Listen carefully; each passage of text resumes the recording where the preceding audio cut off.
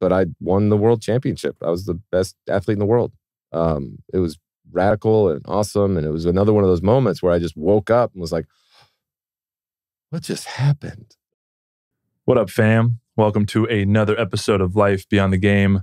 I have a really special guest for you all today. His name is Trey Hardee, and he is former, arguably the best athlete in the world. He competed in track and field in what's known as the decathlon, which uh, since the beginning of time, people have been competing in since the ancient Greeks. Uh, there's 10 events, and uh, it's a display of, of pure athleticism. And Trey has an incredible story, literally speaking to one of the best athletes in the world. It was a true pleasure to have him on. He opened his heart and he shared vulnerably about uh, his transition and the difficulties that he's faced very recently in, in coming out of a, a, pretty dark night of the soul that most athletes uh, face uh, when they're done playing. Uh, his athletic career is just filled with a wide variety of accolades. Uh, he moved up the ranks in college after he started competing in the decathlon and ended up making the 2008 U.S. Olympic team. And he was seven, I think seven events in, uh, really close, about to medal, and ended up getting a no height in the pole vault, which is one of his best events. Uh, no height means that he uh, missed and didn't score, which dropped him out of medal contention and uh, was a huge, huge uh, just failure in his life. And he talks about the intensity of that moment. Uh, a year later, he comes back and wins in the world championship and uh, ends up really crushing the next few years as one of the best decathlon uh, athletes in the world. Uh, he gets another opportunity to uh, really shift that story around. The thing with Olympic, uh, the Olympics is crazy. It's only only four times or one time every four years to compete, and I can't imagine the amount of pressure. Uh, that goes into competing at that level on the world stage. and he talks about the growth that he experienced. Uh, he ended up blowing his elbow out, like worse than the Tommy John surgery, like a year before uh, the 2012 Olympic trials. He barely makes the team and he ends up going on and redeeming himself four years later, winning a silver medal with a uh, restructured uh, elbow on his throwing arm. It's really a truly incredible story. And that's just his athletic career. We dive into his transition and the challenges he's faced and some of the unlikely uh, tools that have helped him really find peace and purpose outside of sports. Uh, this is one of my favorite episodes I've recorded. Uh, Trey is really an incredible guy, and uh, I know you're going to enjoy it. So, without further ado, enjoy this episode with Trey Hardee.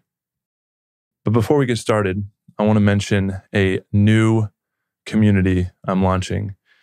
I've been really passionately pursuing different ways that I can have an impact in the world. And one of the things that I've really come to honor, respect, appreciate, and desire to cultivate more of in my life is community. And over the last few years, I've surrounded myself with incredible high impact leaders and entrepreneurs and influential visionaries, individuals who not only have the ability to facilitate impact in their lives and in their businesses and the, the visions that they're leading, but they have the desire to support one another and really facilitating collective change as we move through this this this massive paradigm shift on this planet right now. Things are moving quick. Things are changing fast. Uh, the social, financial, ecological, all these systems are being called to change. And one way that I feel called to help facilitate this change is by bringing together really influential, high impact, heart centered change makers, those who are really passionately pursuing the opportunity to build a more beautiful world by integrating the energy of their hearts into their leadership, into their businesses, into their visions. This is more than just an entrepreneurs club. It's it's it's more than just a mastermind. It's more than just a community, and it's more than just an, an experience to focus on personal transformation. It's all of those things plus an opportunity to use our collective impact, energy, influence as leaders, as entrepreneurs, as visionaries to facilitate real change in the world, real positive impact, and be a part of the conversation so that we can really start integrating and building these new systems and integrating them into our businesses, into our visions, and supporting each other in that process. I'm calling in 40 of the most badass individuals I know. We're getting a lot of applications coming in, a lot of dope humans being called forth. If you are somebody that feels this deep in your heart, like you're meant for something more, and you want to be a part of a community that's really focused on facilitating real change in the world by integrating the energy of our hearts into our businesses and our visions and being supported by a community of really high impact individuals who are already and focused on heart centered principles. Check it out. Thehartcollective.com. It's H A R T, thehartcollective.com. It's a lot more information and you can apply now. There's a link in the show notes. Enjoy the show. Just really grateful to be to be back with you, man. I know, man. How long has it been? I feel like it's been A year. A year. A little over. It's been like 13 months since maybe 14. since we connected. Yeah, I just I just remember what we were speaking about then, and the stories we were telling, and what I was getting ready, what I was building. Was yeah, it's a it's a whole wild and, and crazy full circle, but we're kind of in the same spot. I'm in the same spot. I went all the way around the world and ended up uh, kind of sitting in the same spot. across from me, Uh huh. having the conversation. Uh huh. Oh, that's beautiful. Heck yeah. It, I mean, it honestly is. It's one of those things that I at least was like present enough to be, uh, you know, but sometimes barely grateful and other times really full of, of gratefulness um, for what was happening to me and not like to me, but what I was kind of experiencing um, and going through and to be here. Yeah, it, we'll get into it. Yeah, we will. yeah, let's we'll dive in. it, man. Well, let's paint the picture of of of, of who you are and and the, and the journey that you've been on. As you know, it's it's not every day you uh, you meet an uh, Olympic athlete, one of the best athletes in the world. You know, I, I would consider it like I had these moments when I was playing football, and we talked about this earlier, where when you're around great athletes all the time, it's it's really hard. You're comparing yourself to those athletes, and so I'm I'm with the best athletes in the world as offensive line, but I'm like looking up to them, like holy cow, these guys. But it wasn't until I got done playing when I was able to reflect on, holy cow, I was one of the best in the world. But you were at an, you were at another level, man. It's like the th- you don't know you're tall. Like it's in those settings. You don't know you're tall until you go to the grocery store. You're like, is that is those people are like way shorter than why is normal people. everybody small here? Am I in Hobbitville? Exactly. Yeah. yeah, Um, especially being around offensive linemen for me. I was one of the small offensive linemen, so I was always around like Yeah. big. and you're guys. top half a percent of humans on the earth, but you were bottom five percent of offensive linemen in the offensive guys in the room. It Yeah. just, yeah, and it. I think we, when we were talking about it, it is that thing that like you just discover a talent at an early age, and then you move through that and you do your best. That's kind of it. You discover a talent, you do your best, and I think it happens in a lot of avenues where people discover a talent for numbers or music or or they have a high emotional intelligence and they end up in the field of psychology or they're you know they're great auditors or accountants and you just they just did their best at the thing that they found that they were good at Nobody wants to be a great auditor. i don't know there's people that dig There's numbers geeky people. i think the partners that own the auditing firms i mean you want to talk ernst and young are probably doing okay Yeah, yeah, you're right. but like the the it's just that aspect and i i got caught in in this this love for sport found out i was good at it somebody was going to pay me to do it I, I didn't grow up with like an olympic dream you know i didn't I, the 96 olympics were amazing but i was more interested in what was going on so- in soccer hmm um What was the dream when you were younger, as far as athletes go, athletics go? I wanted to play like I college basketball. Playing for like the University of Florida would have been, I you I could have died if you had told me that would have happened. I probably would have traded the rest of my life for it when I was younger. Um, since way way back, I loved Lon Kruger was the basketball coach when I was growing up. They went to the Final Four in 1994. Like I had the posters on the wall. Went to the camps. Uh, then Billy Donovan was there. I just idolized all of those guys. And then Jason Williams was that little white uh, point guard and was like, I got a shot. Like, we can do this. And then it all, I didn't have like a, you know, like an all star work ethic. I was just one of those talented kids. I think sports came easy. Um, I picked things up really quickly and got to a really um, average level instantly. A couple practices and I would be pretty good at it. And that's where it, most of the stuff kind of stopped, except for basketball. I just really loved playing. Um, and that was the dream. That really was it. And I didn't really think about going to the Olympics until 2004. You know, I, I had jokingly said to my mom my senior year of high school, I was learning how to pole vault, but we didn't have a pole vault coach at my high school. So I would go to camps and I came back from a camp and I saw this guy pole vaulting. His name was Jeff Hartwig, uh, best American pole vaulter um, at the time. He was the American record holder. He never ended up winning a medal, but he was, I mean, all time guy. You saw him pole vaulting in person? In practice, yeah. So we're having the camp and he's having a practice session. And part of our camp experience is to watch a professional do it. And I came back and I was like, Mom, I want to be a professional pole vaulter. And you got lucky enough to see one of the best in the world doing it? I want to wow. I want to do that. Mm. And she's like, uh, okay. Uh, we'll just get a good education and get a degree to fall back on. Mm. And then kind of went like, are there pole vault scholarships? What is, like, Yeah. what is this? Um, It's interesting. That's the lens of a, of a parent. It's like, where can this thing take you away from here so you Yeah. can have a better life than and it wasn't negative. It wasn't Yeah. like, okay. There's curiosity. It, it, yeah. My, my mom wasn't trying to be like, no, you can't. But it was very like, okay, get good grades and we'll try to support you and your, your hobby. When did it shift to track and field? Because uh, you, you, you, you, you told me that you were trying to become basketball player. That was the dream in high school, and then you didn't didn't make the basketball team. You got cut in high school, right? Yeah, I mean, I wasn't even trying out for the team. I, I, I was on the team, and tryouts were over. We only had like two spots to pick up guys. Like varsity's kind of set. It's not like this big team tryout. Let's see who makes it. It's like, hey, two seniors graduated, and let's see who we're going to fill the spots with. You know, Mhm. the JV team's moving up into varsity, the freshman team's moving into JV, and that was kind of it. And it was we're a few days out of the first tournament of the year. Like we got our, I got a uniform. You know, like the team set, and he just go, he just pulled me out right before practice and said, "We don't need you this year." And so my initial to show how far fetched this was, I was a junior, and I I was just oh, that's embarrassing. And I I was a starter. I wasn't So why? to this day we don't know. But my initial reaction was like, okay. I, I remember saying, if you need me on JV this year, coach, I, I'll do that. Because You you, just wanted to play the game. Yeah, I'll do that. And then he's like, no, no, no, we don't need you at all. And he said, go be a pole vaulter or something. So there was something in there, obviously, but you still don't know what it was. No, and there's no like my parents met with him. There was no there, my it wasn't my attitude, it wasn't my work ethic, it wasn't my skill, it wasn't anything, and he couldn't really offer an explanation. And maybe he did to my parents, and they tried to protect me by not telling me.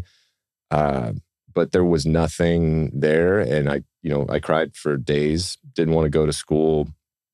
Like it was really, it was a traumatic experience, and used it, you know, like kind of glossing over all the little stuff that happened, but used it for incredible external motivation to go be a good pole vaulter.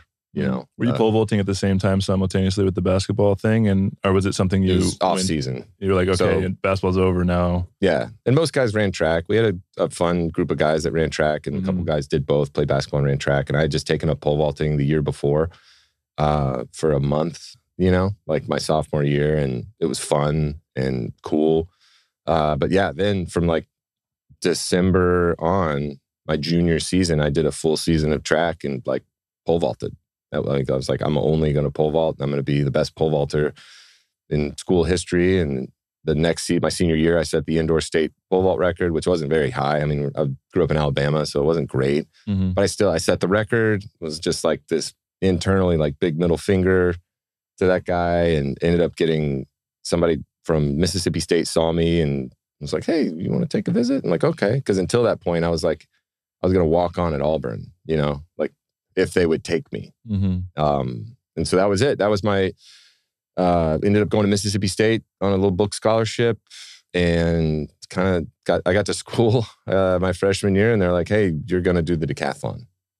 And that was it. That was my intro to all that stuff. What did, what did you res- how did you respond to you're going to do the decathlon? Was it something that like What- wow, it can be great at this? Is this like a challenge? And What are the events? What is, yeah, what is that? Uh, I, it, pole vault's the coolest, funnest thing to train for. Not very like aerobically intensive. You know, not very. It's not a lot of. There's not a lot of gut check moments. You know, Mm. fitness is not an issue, and the decathlon is the hardest event in track and field. Take us through the decathlon, just so people that don't know what is it. It is the crucible of athletic performance. Which where can I look to gain? It's the hardest thing in the world to do, other than I don't know, maybe back to back ultra marathons. But it is the ultimate test of athletic and human potential. It is the 100 meter dash, the long jump, the shot put, the high jump, and the 400 meter dash, all in one day. Then you come back the next day and you do five more events. You do the 110 hurdles, the discus, the pole vault, the javelin, and then you finish with the 1500. Um, and all of those events are scored on a points table. It's not like how you finish relative to the field, it's your points and, and performances against a table. And then there's an aggregate score at the end of it, sum it all up to determine who the best overall athlete is at that competition. Um, and it's addicting. It is 10 chances to compete.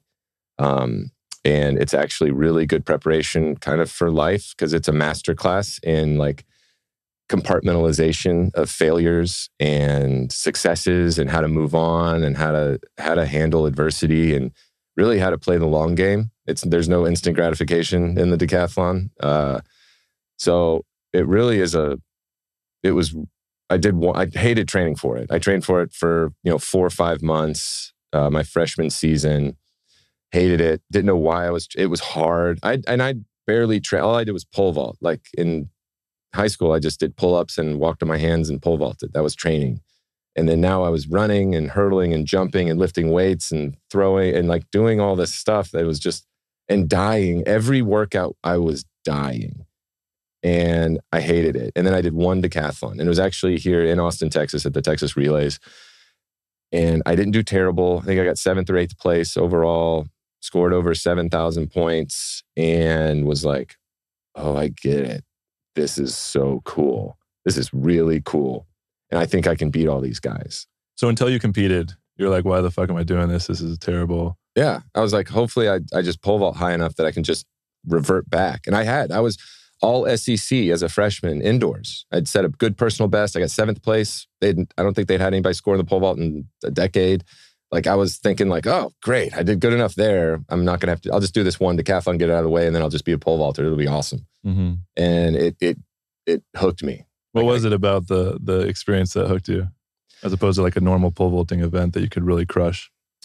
I really I made a lot of really good friends in track and field. And I think the thing that wasn't really apparent to me, but uh, at the time, but I still felt it was the connection with my competitors and the connection with the suffering we were doing together and the respect that I had because I knew everyone else had probably trained just as hard as I had. Um, and they were seniors, so they'd been doing it for years. And it was just this like, I'm going to win this. And there's 10 chances for me to do really well. And I, I, ended, up, I ended up being really fast. Uh, I was still growing. I just started lifting weights, so I started getting stronger. And there was this like, oh, I'm nowhere near my potential. Let me see how far this goes. I'm going to stick with this until it stops being fun. You know, like I'm going to do this until it, it sucks. Mm. So take us on that that trajectory. Where did it lead you next?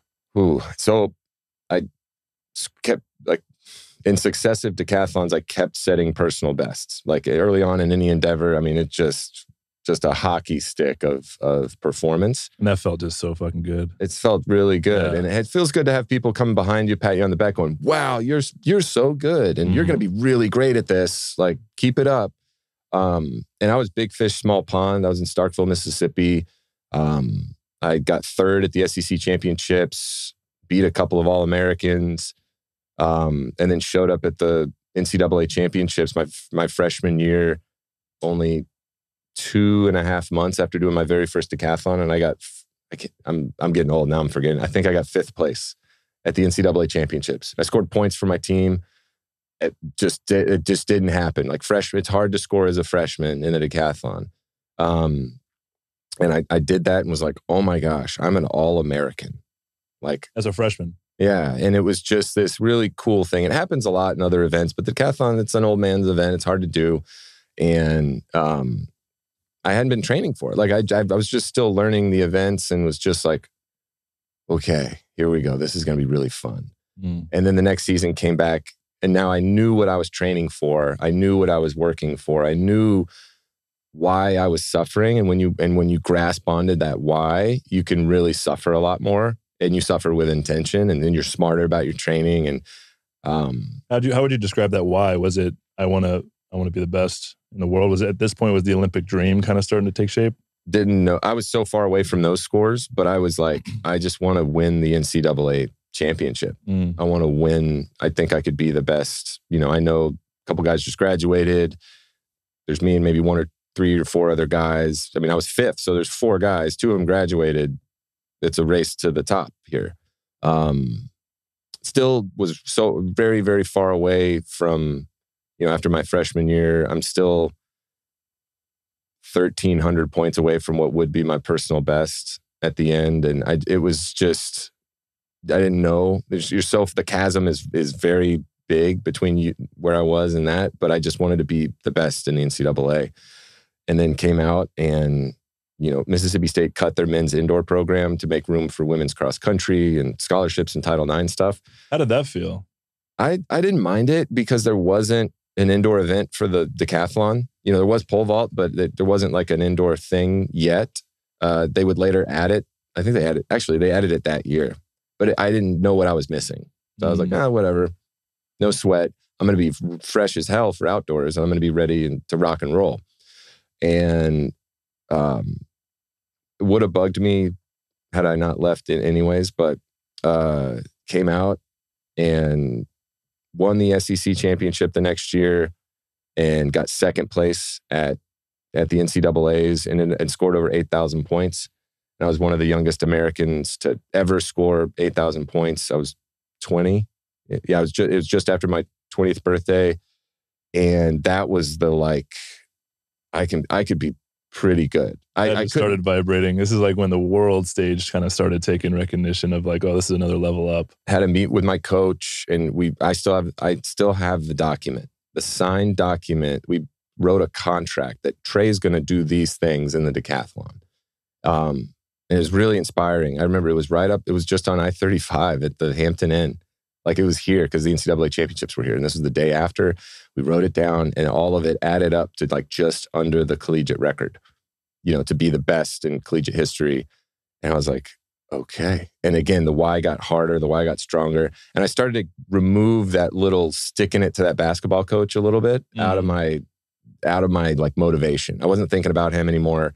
And I, I was thinking about him during hard workouts, like screw this guy. I'm gonna, I can do this. I can, I'm gonna do this. Screw that guy. It was like the little reserve tank deep down in there. That yeah, I'm two access. years removed from that guy cutting the best athlete in NCAA from mm. a basketball team in a little tiny high school with a bunch of white kids. Like seriously. Yeah. Anyway, we uh, uh, moved through that, and I, I ended up going to the Olympic trials. Uh, a couple weeks later, and I'm lining up against the current world champion Tom Pappas the future Olympic silver and gold medalist Bryan Clay, and a host of other professional athletes, like professional decathletes, which I didn't really know was possible. Lining up against them, getting to compete, and kind of like same way it was my freshman year, like, okay, I didn't perform very well here, but I could beat these guys. I I think I can beat these guys. These are 28 year old men, you know, 32 year old men that I think I can hang with I'm, I need to stick with this. And a week later, my coach at Mississippi State said he was leaving. The school wasn't really going hard and fast after another really good multi event coach, you know, another decathlon specific guy. And so I asked to be released just to go talk. Like, I just want to go see what's out there. I'd like to talk to some other universities and set up a couple of things with University of Tennessee, uh, University of Florida, and Texas. Took one visit to Texas and that was it. Coach hit it off, team hit it off. The city is amazing. And Were you getting recruited at this point? Were they like wooing you and like kind of trying to vie for Eh, you to come sign? No, it happened so late, and I didn't get recruited much in high school, so I didn't know how what the signs would be to be recruited. Um, but we had stuff teed up to to go, but it, it all happened so so late that no one had scholarships available. So no, oh shoot, I wish we had known about this earlier, Trey. Oh. Um, but Texas had some stuff freeing up, and Mississippi State was still going to keep me on a book scholarship, even though I was the highest point scorer, like on the team. And so it felt kind of disrespectful and and dishonest um, because of the promises they had made on recruiting visits and on scholarships and stuff. So took one visit to Texas and was like, "Hey, this is it. This is really it." Classes after my visit here, classes started like nine days later. So flew home to Birmingham, drove to Starkville after I'd already signed a lease. I'd already moved into my new place in Starkville, got my stuff, stayed the night in Birmingham, and then me and my stepdad drove back out to Texas. And we got here. Classes started in like three days, and I wasn't even enrolled in school, but I was here. And this felt right from the day I got here. It just felt like this is where I like where I needed to be.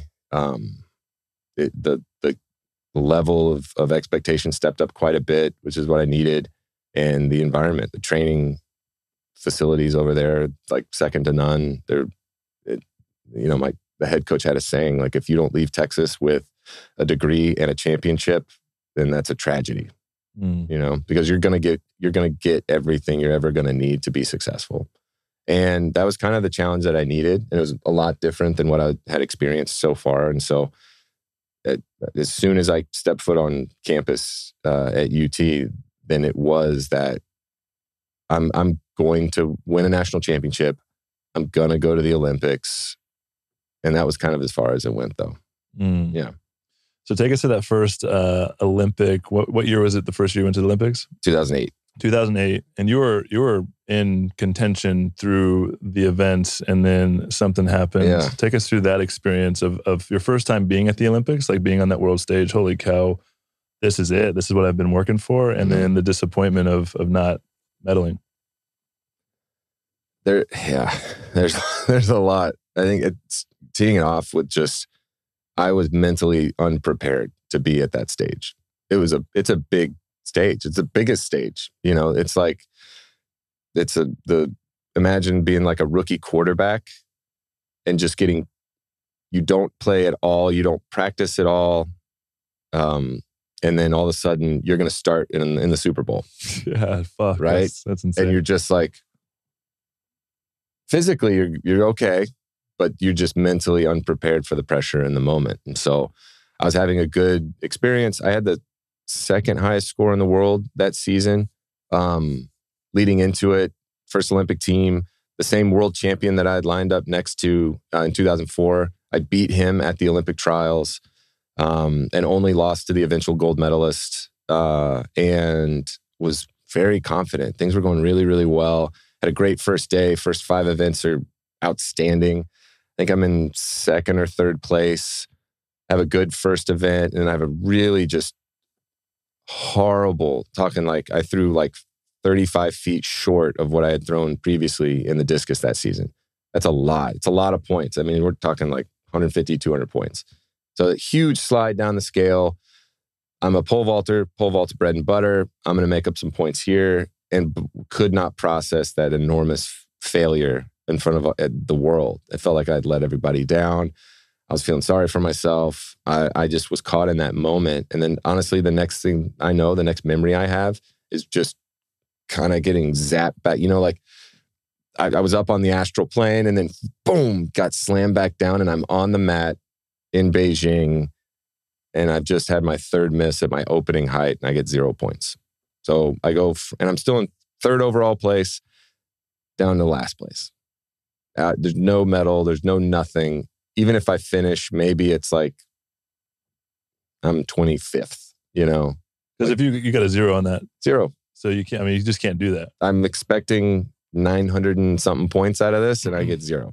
Wow. Um, and so I and you wait- attribute that to the process of not being able to kind of wipe the awareness clean because that's what a lot of people don't get. What what makes athletes so unique is their ability to handle failure Like as an offensive lineman, if I gave up a sack, fumble, touchdown, which happened to me one time, it's like, holy shit, that was the worst play ever. But I can't let that affect the other 50 plays going, or else Mhm. I'm not going to have a job. And so, because it's your first time, it was just, you didn't, weren't able to process that in real time. What was that experience like? What were you holding on to? Were you just replaying it in your mind? Were you like, fuck, I just trying to overcompensate with these next things?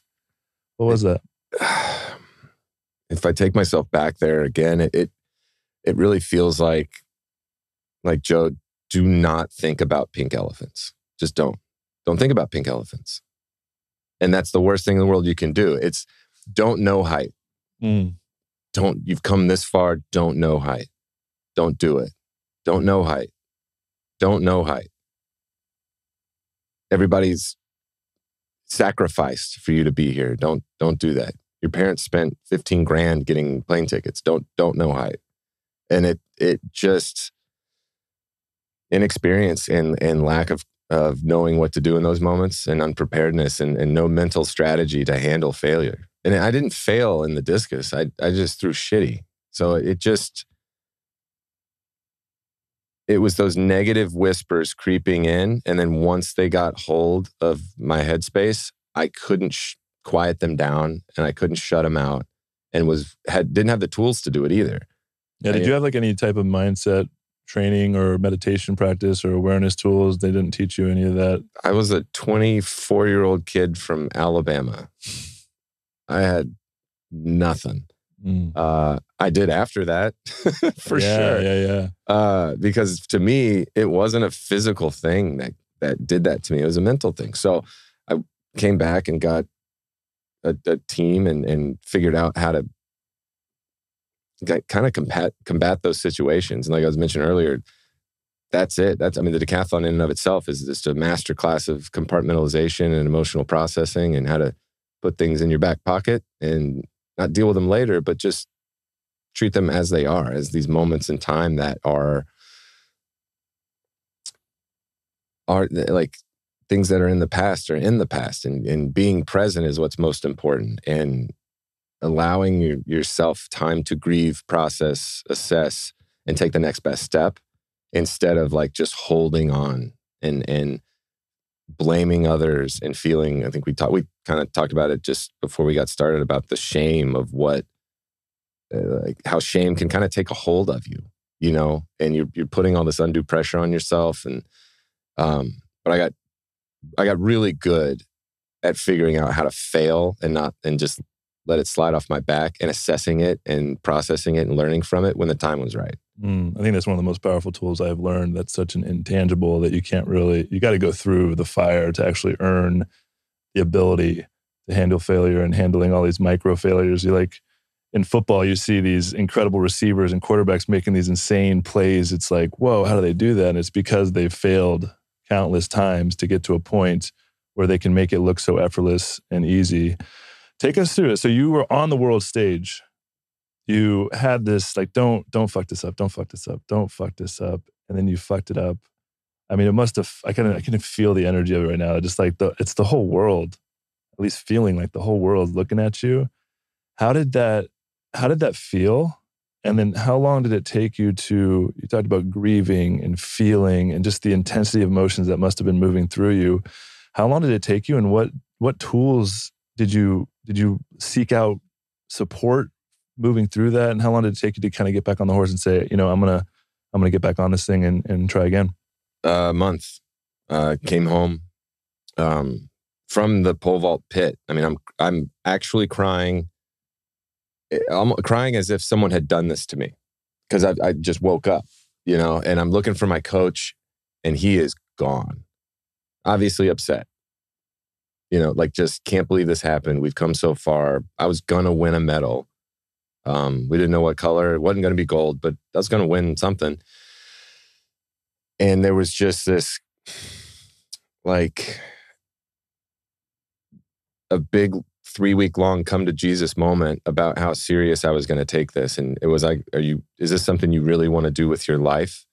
Because if so you got to take it more seriously and be a professional you know that's a, that's a lot of conversation summed up into into one and being professional to me meant basically getting my shit together and coming to this like a business in all facets. So talk to uh, USA Track and Field and the USOC have we we get access to sports psychologists and there's a couple of them that were in house in Chula Vista where kind of the track and field USOC headquarters kind of were where um, if I wanted to go train there, you know, I could stay in the dorms and have access to some of the physiotherapy and medical and some of the coaches down there. And they had a sports psychologist, um, uh, Dr. Reardon, and he was the first one that talked to me about just mental health and strategy and and the strategy in sport. Um, what were some of the things? Do you remember what he was? What he was like? Because we're not really taught this stuff. This is kind of like some real. You learn. You go through the fire. yeah, and you're like, I, I obviously need this because I experienced this. So how can I have, train my resilience in this? And you know, I'm, I'm, sensing like this. You were young, and there's a sense of immaturity, maybe a little bit of a victim. Like, holy shit, I can't believe this happened. Why me? Mm-hmm. As opposed to taking responsibility, because that's the hardest thing, and the, the the biggest awakening anybody can really have is finally taking responsibility. So, what were the things? Were they were they pretty profound for you at the time, or just like little tools to start training and implementing into your practice? I think you know, a 24 year old, cocky, arrogant. You know, I ended up breaking the collegiate record and so at that time, I'm an Olympian, collegiate record holder. Shit don't stink. Yeah, like okay, let's see what you, let's see what you got, old man. Mm. You know. Mm. Uh, so for me, they were so small and insignificant. These these new tools. It's like there's no like okay. I'm I'm looking for the profound, yeah, home run, like fireworks trays. Like oh yeah, I got this secret this secret tool that no one else has it was just rehearsal. It was just mental mental practice mm. and accepting that my performances were entirely up to me. No one else can can control my body and no one else can control my preparation and I began uh, the process. I didn't get really good at it till later that year of really rehearsing everything that could possibly go wrong or well. Um, you think about all these iterations, just talk about like a 100 meter dash. Okay. What if my shoe breaks in warm ups? Okay, I've got a backup shoe. Okay. What if it's raining? Right, I've got an extra top so I can warm up in this top and change tops. Uh, what if the guy to my right false starts? Okay. Okay. What if the guy to my left false starts? Okay. What if I false start? Okay. What if I get a bad start? Okay. I'm not going to panic. I'm going to, I can stay the course. I can eat up the back half. I'm going to be okay. And it's just one event. Okay, what are the differences in those times? A bad start might be 1060 for me. Good start might be 1041, 1038. What are the differences there in points? Oh my God. Okay, it's only like 15 points. 15 points is like nothing. That's just like a lean in the in the 1500. You know, let's just I can okay. Well, what happens if I like if I feel this, you know, thing in my knee that I've kind of been feeling last month? all right, we got a doctor there. We're going to do this, this, this, this, and this. I'm going to prepare. The next two weeks are going to be like this. So I did that for every single event. Well, what if it's rain? What if it's raining? What if it's windy? What if it's? I think I already said raining, but like all those iterations and all of that, those decision trees for every single event, every single attempt, and then you stack on like, well, what if I'm in like fourth place? What if I'm in last place? Okay, I need to get mentally prepared in the weeks leading up as I'm stepping in to do my last, you know, 1500 meter workout. It's a 1500 meter workout running for gold or running for bronze or, you know, and I know the names of the guys I'd probably be running against. It's all of these things to put myself in the situations so that when I got to the big moment, now I knew what the moment was gonna feel like. Mm. No one feels good at the pole vault. I thought it was just me. No one feels good. It's, it's, it's, oh, I'm glad I've, I'll never experience that again. But I know what that felt like. And so when I got to those moments at the World Championships, the very next season in 2009, I I was I'd already done it. You know, I'd already it was already rehearsed, and I'd rehearsed victory, I'd rehearsed failure, I'd rehearsed all these things. That so when it was happening to me, I honestly was in a state of flow the entire two days. It was just I was so in tune. Everything felt so fun and easy, and I didn't put a bunch of pressure on myself. I really want to highlight this because this is super powerful. Like playing out the worst case scenario in your mind And you can use this technique for anything because the way fear works is it creates like a lot of tension. Your nervous system gets activated and it's a lot of what ifs. And it's mm-hmm. like, don't, the fear is like, don't look at me because I'm so scary. So then it just creates this story of like, oh man, like what's going to happen? It's unknown. But if you start filling in the unknowns of like, well, what's the worst that could happen? Like, what if my shoe, you know, pops off? And it's like, okay, instead of it happening and being like, oh, what do I do? And like that initial, like, holy cow, it's like, oh, I just I got I got an extra pair of shoes. So that rehearsal of the worst case scenarios, a lot of people don't allow themselves to go into the worst case scenarios and actually feel what that might mm-hmm. be like and realize, oh, it's it's really not not that bad. It, could it be worse? Well, let's let's play that out. It's actually not that bad. And you start finding out like, okay, the worst case scenario is really not that bad. And really that that that response in those moments is really just a lack of control and wanting control. And mm. that rehearsal lets you take control before it ever even happens it just I knew this was going to happen. Mm. We got this. And so your confidence is just like at an all time high just because of this rehearsal of these things and like not just thinking about what could happen, but like feeling it viscerally and like if this happens, how would it feel in my body mm. so that you can understand your nervous system and be able to regulate it in those moments when they happen on the world stage. Yeah. And you, and uh, this is a really good example. I think everybody knows like what Usain Bolt looked like before races. I mean, he was like dancing and like he was having a good time. And that wasn't, I don't think, arrogance. It was really just mentally preparedness. He was ready to accept the outcome of the race. Um, and that's what that's what kind of changed for me. That fear was completely gone. And I at the time I didn't know it was fear. I thought it was just like I'm going to be really, you know, hard and confident, and I'm the I'm the man. And then it totally pivoted for me where I'm like high fiving guys before races, like, hey, dude, good luck. We're gonna do this, right? Let's go. And then and we're doing that, and people are looking at me like, what is this guy doing? This is really weird. Uh, but it was just taking control of the situation and accepting whatever was going to happen because I'd already figured out the outcomes. Like I'd already done it all. And so in those moments, there's this calm openness, uh, like joy, real, actual joy. And that aperture is just so big and wide. It's not this like weird focus that you're not paying attention to the weather. You're not doing all this other stuff. Um, the radical acceptance of all of it, which allows you to be present. Oh yeah, it's like you, you uh, it's so powerful. And then genuinely happy for my competitors when they do well. Mm. Like absolutely, that's another thing that changed for me. It was kind of we're doing this all together, and when they do well, I do well when they do well, the rising tide's going to float all the boats. Because if they're not doing well, you, I have to be pushed by competition. We all kind of do. Like the decathlon's too hard to like. If you, you got to run for something, you know, um, and so that ended up happening as well. So 2009, all this is being put into place. I don't. Only looking back do I realize like, oh, that's what happened. Uh, but I won the world championship. I was the best athlete in the world. Um, it was radical and awesome. And it was another one of those moments where I just woke up and was like, what just happened? That was a year after the loss at the Olympics? One year, 12 months later. Yeah. How after, did that feel? I mean, good, you know. Like Unsatisfied still? Solid. Still more? No, I, I think there's, I have an interview afterwards where I'm like, man, all of it was worth it. I think that, that I say that over and over again where all the extra stuff that I, I'd done in the professionalization of my craft um, taking all the extra time, putting in all the extra work, all the mental preparation, all the just all the you know before cold tubs were cool, you know, doing all that extra stuff, yeah. um, and it, it, really gratifying and and surreal. Like a, a little kid from Alabama is now the world's greatest athlete, and I think it was the sec- third highest score in U.S. history at the time top 10 in the world, seventh all time in the world. I had only been doing it for six years, seven years, six years. Impressive. And I, and and it was surreal. It was just weird. Like what? It it worked. It was almost like oh they bought it. Like you feel like not fake, but like I can't believe this worked. How did I? How did this just happen?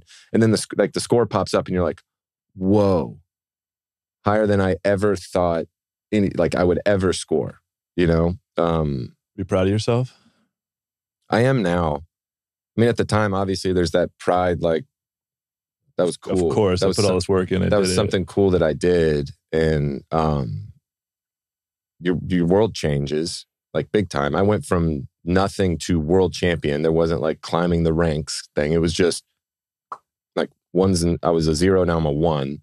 How did that affect your your life outside of the sport, like socially? Were you getting more opportunities, more publicity, more recognition, or was you know how did that? It was early. Companies weren't like Twitter launched five or tw- like a month or sorry, Twitter had launched like a year before that. Instagram didn't exist. Facebook was just now getting into like general population. Um, so it wasn't like a big, big deal, but like I was on, yeah, I did the cover of like Outside Magazine. I got a, a Red Bull deal. I got a, a bunch of stuff starts happening. Um, and then, it- then it went from like, okay, I can exist and make a living to, oh, I can, I'm going to make more money than I ever thought I would ever make. You know, being an engineer or an accountant or something like that. And it, that was the di- big lifestyle. I was like, oh, I need to get my stuff together.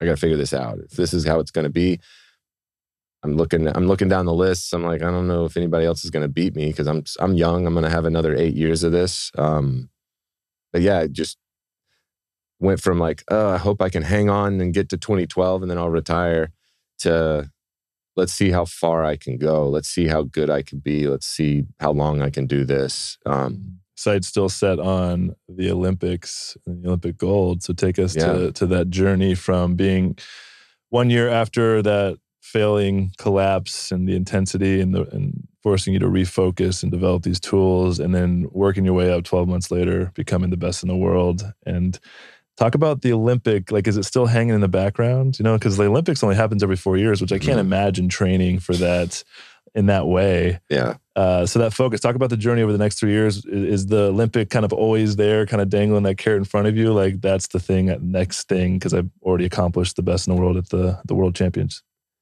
I, I think professionally, I, I did a really good job again about compartmentalization. There's so many little boxes you have to check on the way to the Olympics, and it's a four year cycle. Uh, but it's really a four year cycle for like brands and the general public. For us, we have world championships. And so I took each year as this individual challenge of like, what is there to accomplish this year? What could I do? What things do I want to do to lead into to 2012? Um, and I, I kind of checked all those boxes for myself. I know I went, I won a medal in the indoor world championships, and then I've backed up my world championship uh, in 2011. They're, they happen every other year, and so I was back to back world decathlon champion. And um, the only thing that happened out of that is I ended up tearing the ligament in my elbow, completely shredded. My elbow was just flopping around. Um, happened in the in the, in javelin? the javelin. My last attempt, my last throw in the javelin. And so I ran the 1500 just taped up in a complete, in just an L and ran like a robot and ended up, I hung on, um, won the title, which was the most important box for me to check leading into London. But then it, now it was this big what if. Now it was like, well, Trey's probably not even going to make the team. He just had total reconstructive surgery, like mega Tommy John surgery. Um, we'll we'll see. We'll see, buddy. And how how long before the Olympic trials did you tear? It was. elbow. I had the surgery in late September, And then when is you needed to make the team by? late June. Wow. Yeah. So, I, I I've given a couple of keynote speeches on the unsexy little things that have to be put in place that you have to do. You have to learn to love, and you have to fall into that beautiful routine of like doing the unsexy, fundamental, stabilizing things. So Discipline. I'm a, yeah. It, I I took discipline for granted until I retired, but it really was. I I meticulously wrote down everything I did in my re- rehab for my arm, and it was like three hundred and something thousand repetitions of like this, this with no weight, just holding a weight and just trying to get my arm straight for three months. You know, um, Was the was the because you have to have a strong why to work through that. And was it was there still a seed of that needing to kind of shift that story of that failure on the world stage at the Olympics and wanting to make it there to kind of have you show up with that amount of discipline of like, I need to make this happen and heal this so that I can get there back there? Yeah, maybe a little little column A, little column B, probably. Um, but then column C, and I don't know who who gave me this seed or when it was planted, but I really just wanted to look back on that year. You know, 12 months after surgery, I really just wanted to look back on that year with no regret, with no, ah, man, you, you gave up or ah, you could have done more. Or I think everyone gets to this point at some, some stage, no matter what endeavor it is, that you, you can get to this point and you're looking out and you're like, okay, I could give it my best from here on and I, and I might fail and it's going to be embarrassing. So I'm just going to stay. I'm just going to stay back and I'd rather not attempt this. I'd rather not push forward. And there's some times where like cut your losses and get out makes a lot of sense. But more often than not, there's ego in the way of putting yourself out there. And I was open about what I was doing. I was open about going to London and trying to win gold. I I did everything I could possibly do short of taking a banned substance and doing something legal. Um, was that ever on the table? Like as no. an option? No. I, I, it's so wild when I hear, I think it's way more prevalent like in distance running where, I mean, road racing and like there's just a lot more opportunities to earn money. Uh, we got like two opportunities to earn money as a decathlete. um, and I never saw it. I was never approached. I never tried it. One of the, that's still to this day like a really great compliment. Someone was like, "Yeah, we always thought you were dirty." Like, thank you. That's really nice. Is that just because you're crushing fools? Yeah, it's kind of you to say because I I beat drug cheats. Like, there's some Russians that got banned. Um, so a guy got silver behind me in in Berlin in 09. But I I just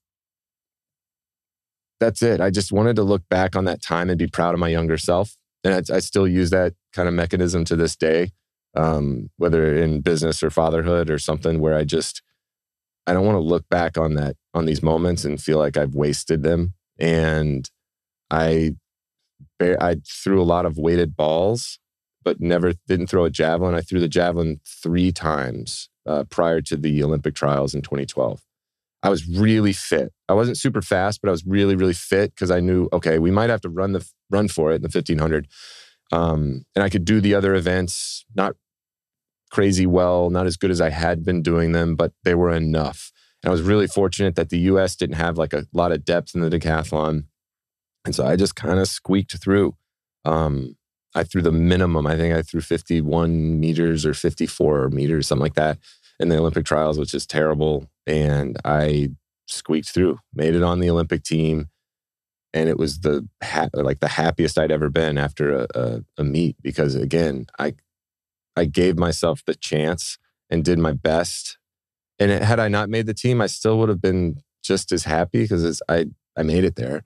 Mm. um, and you put it all on the table. You're like I'm no regrets. Very exposed very you know every I mean yeah. And so grateful. It allowed me to expand my network of people that I relied on you know, I really leaned on the the medical training staff at Texas. I really asked a lot of my coaches because we had to plan B everything. I had to spend extra time with everyone, right? Because um, as a professional, you don't have the network, you know. And I also didn't have the funds to create a network. Mm. Um, and it was it was really it was just amazing. It was just really a fun year. Um, and then took kind of that, those feelings from that 2009 season and that whole summer just accepted things as they came, knew I was in London with house money. No one thought I was going to do anything special. You know, I, so in Berlin, I, I won, I scored 80, 8,790 points, which was a really good top 10 in the world, all, seventh all time at the time. And in the Olympic trials, I think I scored like 8,200, like 8,200 points like barely over the Olympic standard, barely scraping in, probably just outside the top 10 in the world. So Trey's at the meet, but he's not a threat because of his elbow, like whatever, you know? And How long is it from the, uh, like making the Olympic team to the actual competition?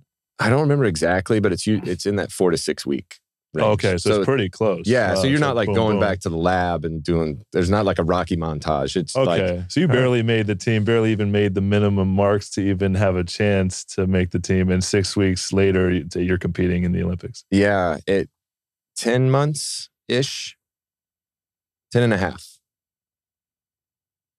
Yeah, like 10 and a half months after surgery, I'm in London lining up for the 100. What would you say your elbow's at? Like 80%? It was i mean it was solid but like throwing wise to throw a jet i could throw a football okay it was probably like 70% for the football and on it like 50% trust for the jab It's trust thing too, right? It's like it's capable, it's strong. The surgery did its thing, but there's that mental piece of if I go all out on this thing, am I going to shred my elbow again? and every ortho and my my doc that did the surgery said it's going to take two years to cook you know to like really cook Oh, down wow. and turn into a ligament and i'd done everything i could do and i hadn't thrown well at the trials but i'd thrown and i hadn't taken any steps backwards. So it was kind of like okay see what happens. Well i have a really great first day and i'm in second or third i think i'm in second or third. And then after the first couple events of the second day the, I, I hurdled great. I almost set the decathlon world record in the hurdles. Uh, I just it kind of out of nowhere, like, okay, we're on to something here. Discus goes great. Pole vault goes good enough. Um, and after the pole vault, I mean, if I had pole vaulted really well, like up to my personal best, there would have been a shot for gold. But now I was in this fight for fourth, fifth, third, second, and we're going into the javelin, and it just is this this moment, and I'm, I'm warming up. I'm kind of, I just pick. I'm not doing like throws. I'm like, I need to save every effort. And the physiotherapists have just taped this thing up. I could have, like, a semi truck could not have bit my elbow, you know? Uh, and I'm, th- I'm throwing like late in the number, late in the, in the rotation. And the guy that's in right behind me is an unbelievable javelin thrower and just bombs one. And I'm like, uh, shit and I'm sit, I'm just thinking to myself, I'm like, okay, a week from now, a year from now, I'm either going to regret my effort right now with a healthy elbow, or I'm going to be satisfied that I did everything that I could do with maybe still a healthy elbow. Maybe it's broken, maybe it's not. It's taped up as good as anyone's ever taped up an elbow. So I walk to the back of the runway. I'm next up in in the rotation. Hardee's on deck. Um, and I look at my coach and he's like, What are you feeling? I was like, I don't care if I destroy my elbow. I'm gonna throw it as hard as I can. He's like, without missing a beat, he goes, like he goes, Yeah.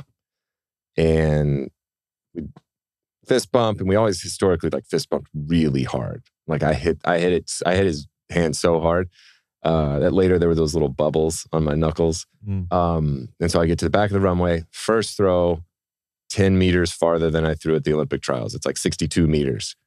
Well enough to win a medal now. Now I'm in medal contention. Now, I mean, I've got a medal locked up unless I completely cramp up in the 15 and roll off the track and get no points. Like we're in there. So now the second round's coming up. I've already kind of processed those emotions of like, I just won an Olympic medal.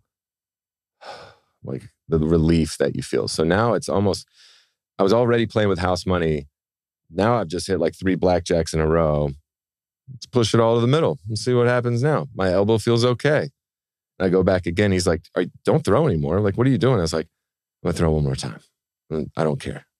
Let's do this. We're not going to get, this is the only chance we're going to have. He's like, okay, let's do it.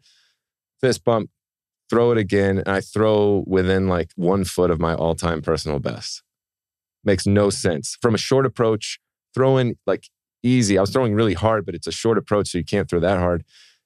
And it, I, I've never been, I've never experienced that feeling. It's on the internet. If you search like Trey Javelin London or something like that, I've never felt that ever. Not, not, it, not that it's better. It's just different than anything else I've ever felt. And it, I had no, and it was just this like ultimate stamp on like if you just do your best, odds are it's going to turn out pretty well. Describe the Yeah. feeling for us. Like, what was it was it? What was it like? What did it feel like in your body? Was there what was different about it?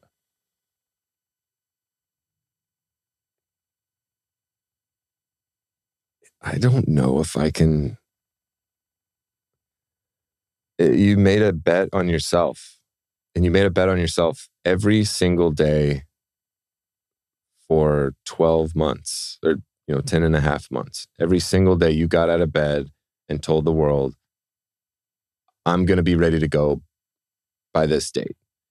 And by all accounts, by history, by your surgeon, you should not have been ready to go. But everything that I did was right. And every movement I made was correct. And everyone that I had around me were the right people that needed to be around me. And everything that had ever happened to me in my life had been for a reason to get me to that runway to do that thing in that moment. And it was this ultimate, like, I remember, th- like, like God is so good and so faithful. And I, I would have probably said those things had it not happened, but it was just, I had so much belief and trust that what I was doing was going to work that it flowed through you. And it, and I jumped higher than I had ever, than I jumped in the high jump earlier, like, like, like the day before. And I just had this like, it wasn't contraction, but I was just so, it was like this release of energy. And I was, I ran halfway around the track. I came back around. I got to, I saw my, my coach, my agent, and two of my buddies that had just flown out to London to see me compete. They, they screamed, streamed down, and we were hugging and high fiving in the middle of a competition. And it just, if you watch the video, you can see all of that. You can see this whole like it, it, it yeah, it just all those bets at that moment. there was still one event to go, but it, they all it all just hit. It all just hit red seven, you mm. know. And it's like that investment every single day was just stacking, stacking, stacking, stacking, stacking, stacking, stacking. Keep going, and keep I, focused. And I, you, and you keep letting it ride, and then it hit, like it, it actually hit. And I'm not. This is a bad analogy. It's not all about money, but it was just this thing that hit, and it was like it all. Normally, you would have that kind of reaction after you won or after something really cool happened. I was I knew I'd won the medal. I knew I'd won the silver medal. Nothing was going to take that away. I wasn't going to I wasn't going to get gold, but I was I wasn't going to get bronze. I was going to win a silver medal after that 2008 experience. You know, and again, it's hard to describe, but it, it's like everything I just said times a, a million. I can feel it and I, I mean, just the, the, just the inklings of the reverberation from that moment so long ago in time now, from you explaining it, and I think that's the great thing about the Olympics, right? Like it's four years yeah. to, to have such a catastrophic failure, and taking us through kind of the immaturity, the lessons, the growth, the inability to handle the big stage and then to get to a point where it's just like four years of hard focused work to shift that story and to have an opportunity even to barely squeak by to get it mm-hmm. oh man. Yeah. And then getting the rug pulled out from under you the year before like right before like you're yeah. It was and i draw on that all the time. Like i really do. In all a lot of the stuff that i'm that i do in fatherhood and in life in general, in business, my relationships as a husband, like just not wanting to regret time, not wanting to regret the way that I choose to spend my time. Mm. Oh man. So top of the mountain experience. I mean, I'm sure you've it's hard to to even imagine that level of elation and energy just because of so much just the story in itself is like created that level of expansion, top of the moment, top of the mountain moment. Uh, take us through the end of your career and the loss of all that, like the focus, the mindset it takes, the why, the proving people wrong, like your high school coach, and then you know, shifting the story and Wait, healing. before we do, before we do, I want to hear about your moment. Which moment? What was your kind of like top of the mountain fruition of where you could you look back and you're like, man, really proud of myself. Like I bet on myself. I'm here. Oh man. I've got it's a it's a pretty long story as far as my my journey because it was it was very up and down. We've but got- I, I would got- say the We've got time. we've got time because we got to create context. I would say, you know, just to sum it up, um, it's similar to that the energy you had when you were 2000 and 2008 when you were a little bit immature kind of like shit don't stink i'm here and and and it really is around taking responsibility and taking radical responsibility it was my, my first real big awakening and it was my my third year in the nfl uh, I thought I was going to be the starter ent- entering training camp because the starting center was retiring. I was going from right guard over to center to take over. At least I thought. And out of nowhere, uh, we drafted a center, the best center in college football, with our top pick going into the year.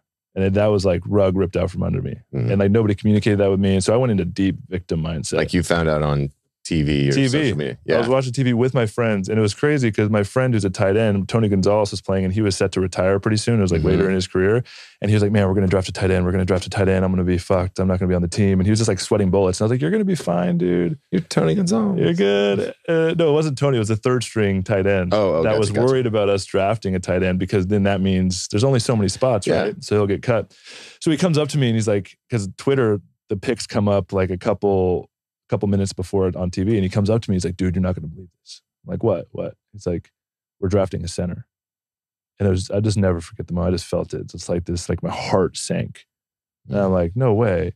And I've never felt so betrayed, humiliated, like all of the wounding, just all in that moment. And I I went into a victim mindset and barely made the team the following year, uh, and was really just depressed. I was drinking a lot, taking pain pills, doing drugs. Ended up getting to a point where I got uh, popped on a PED test for taking Adderall. So I got suspended for four games in the middle of the season. And this is all while the Falcons are having one of the best years in franchise history. So we ended up 16, 15, 16. 2012. Okay. We were 13 and three. It was the year we went to the NFC Championship game. Um, and yeah, I uh, came back from that, and I, it- that was a big wake up call getting suspended. And so I was like, okay, I need to refocus. And so I came back after that suspension, but it was the damage was done. I was like a dead man walking. The whole team, it was weird. Like they didn't, nobody looked at me. The coaches didn't talk to me. And I was like, holy shit. And I just saw the writing on the wall, like they're gonna fucking cut me. And so I'll never forget. Two days before Christmas, it was like week 16 or 15 in the season. We were about to be the number one seed locked. Uh, and I got a call from uh, a scout and said, you know, coach wants to see you. Bring your playbook. And I went in there and GM was sitting there, head coach, and sat down. And I remember walking in the room and it was just like, I was like above my body. Like it was just like the most insane, like out of body experience, really intense. And I sat down and it was interesting because up until the point I sat down, I was still like playing the story of like, they don't know how good I am. They're not giving me a chance. I'm better than all these guys. You know, the stories Mhm. of like I'm I'm better than what they're viewing me as. You Yeah. know, is that that Oh man. And so I sat down and when they said the words, I said, Joe, we're gonna we're gonna let you go. It was like whew, filled with regret. And I had never experienced that before. And I, I it was the it was all of the responsibility just flooded into me. It's like nobody gives a fuck. And I did this to myself.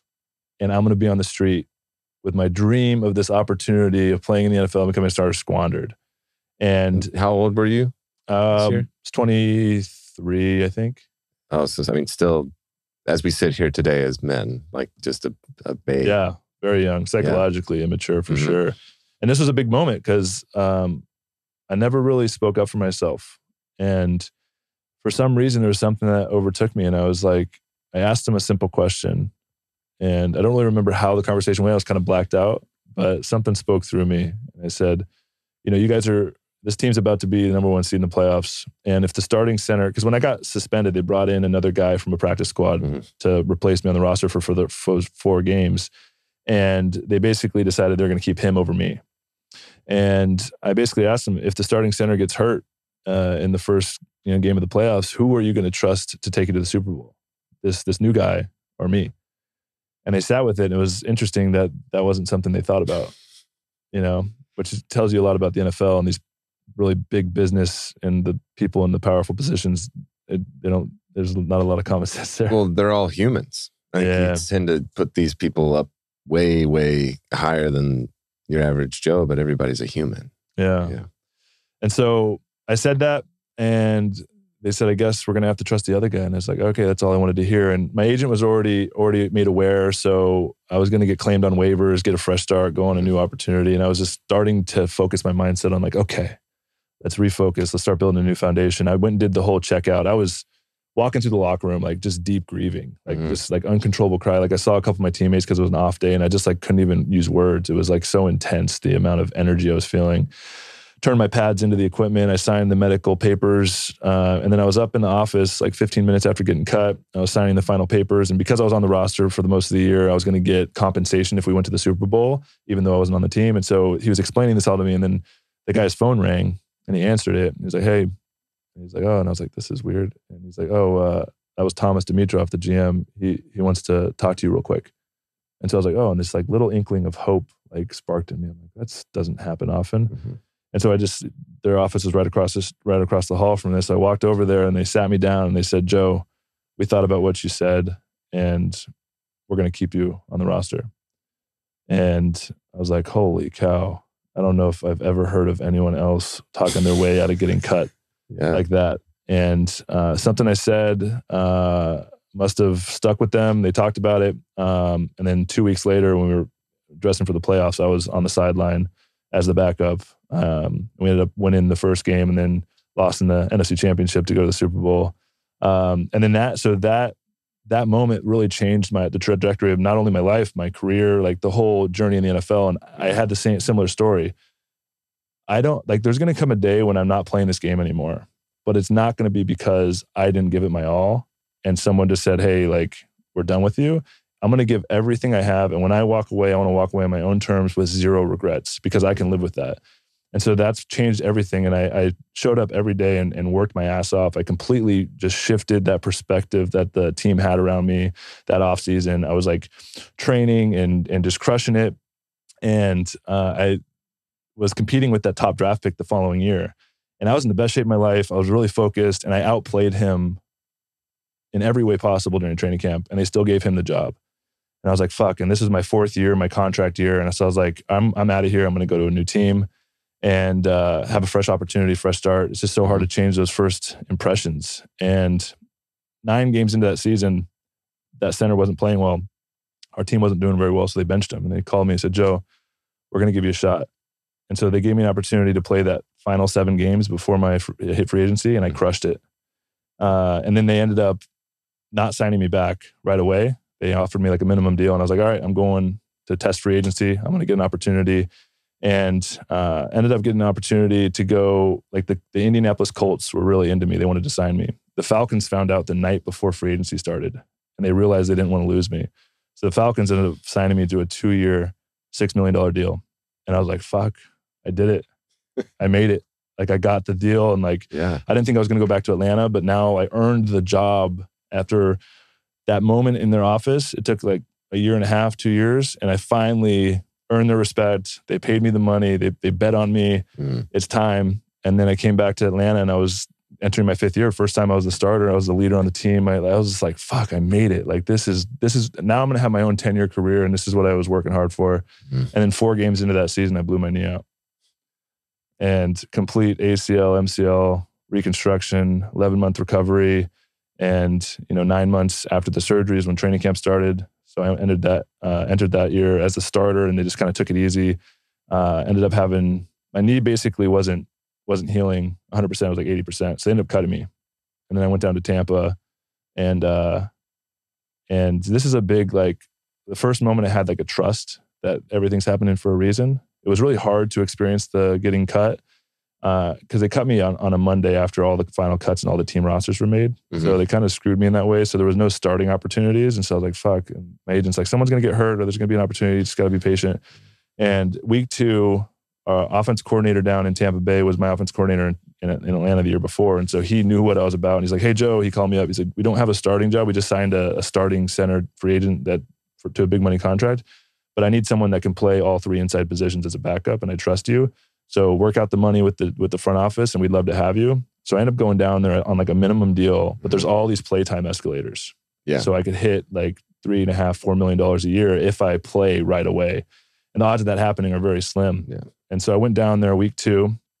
If I hit 90% of playtime, which is basically starting the whole year, uh, then I'll hit an escalator, which will escalate my next year and trigger all these bonuses. roll over yeah. salaries and stuff. And uh, the first play of the second half, I was down. We were in the Superdome at New Orleans, and I barely know any of my teammates' name. I got there on Wednesday.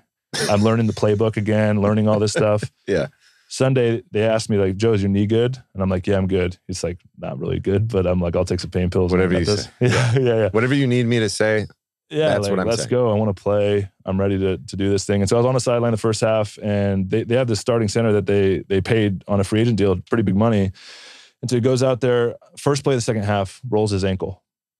I'm like, okay, let's go. I go out there, and so like you know, Jameis Winston is his rookie year. He comes over, like nobody really knows who, like who's this guy that just Yeah. came over from Atlanta. And I go out there and I just ball out. yeah. And I, I remember the first play. I'm like, I look to my right, and there's a rookie right guard.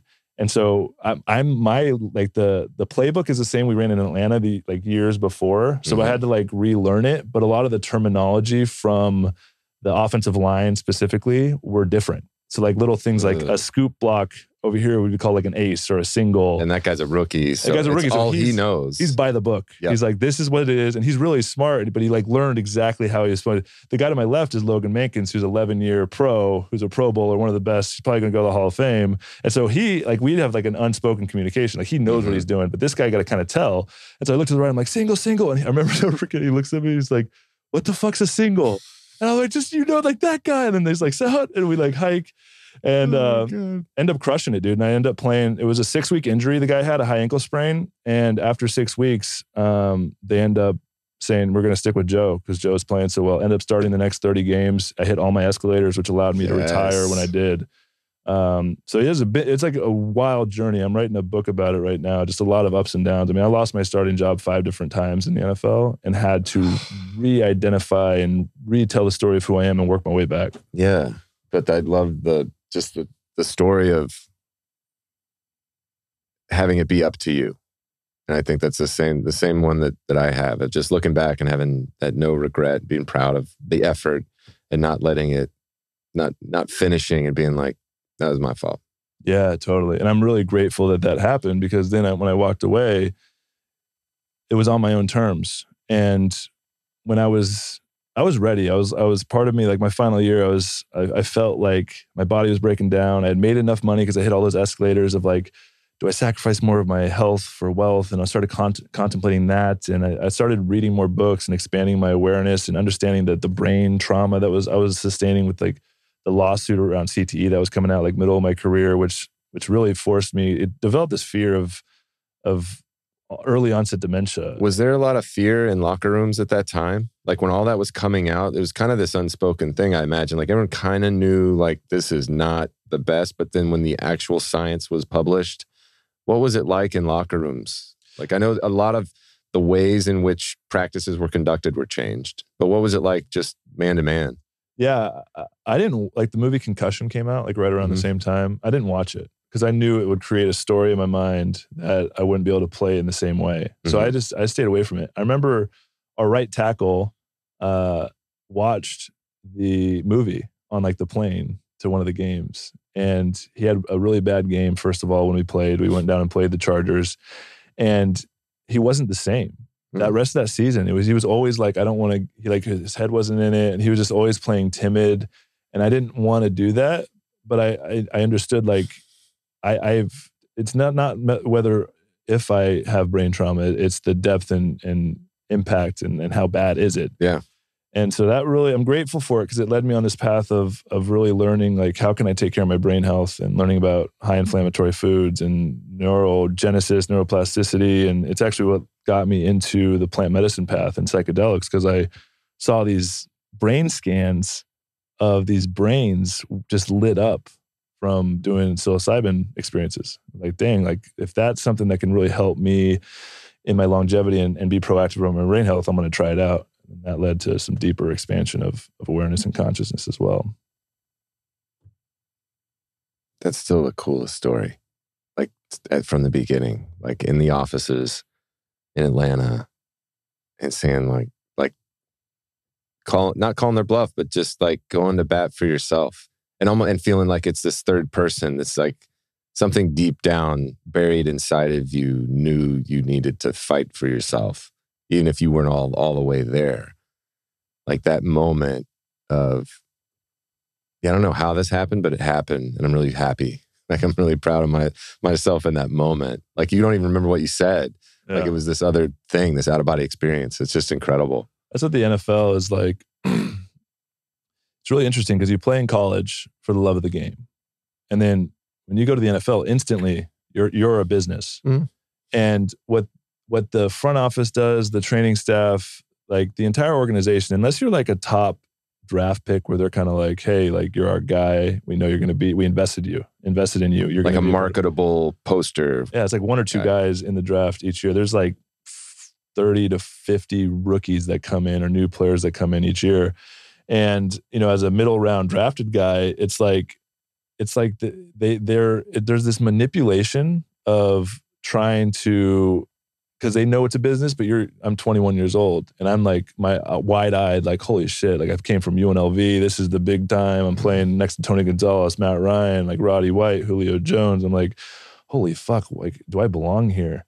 And it wasn't until I went through that experience where I stood up for myself, where I realized, oh, this is a business, and nobody gives a fuck about my business. They're all they're all worried about their own business, their own individual business. Everybody in the front office, everybody in the training room, everybody mm-hmm. in the kitchen cooking their food is looking out for themselves because they're a part of this organization, and it's really fascinating because there's this you, there's this need to to be a pro and look after numero uno, which is yourself, mm-hmm. but also create this team dynamic where you have to have like a really strong bonds to go perform on Sundays. So there's a lot of mental, emotional, psychological games that happen that is is a challenge that you don't even really know. And it, they they talk about becoming a pro. And that's a part of it. And it wasn't until that third year when I went through that experience where it's like, I don't care if the strength coach comes in and says, Hey, I don't want you working out extra, or I don't want you to do doing this in the weight room because we did we had a coach that was kind of a narcissist when I was early there, and he would really like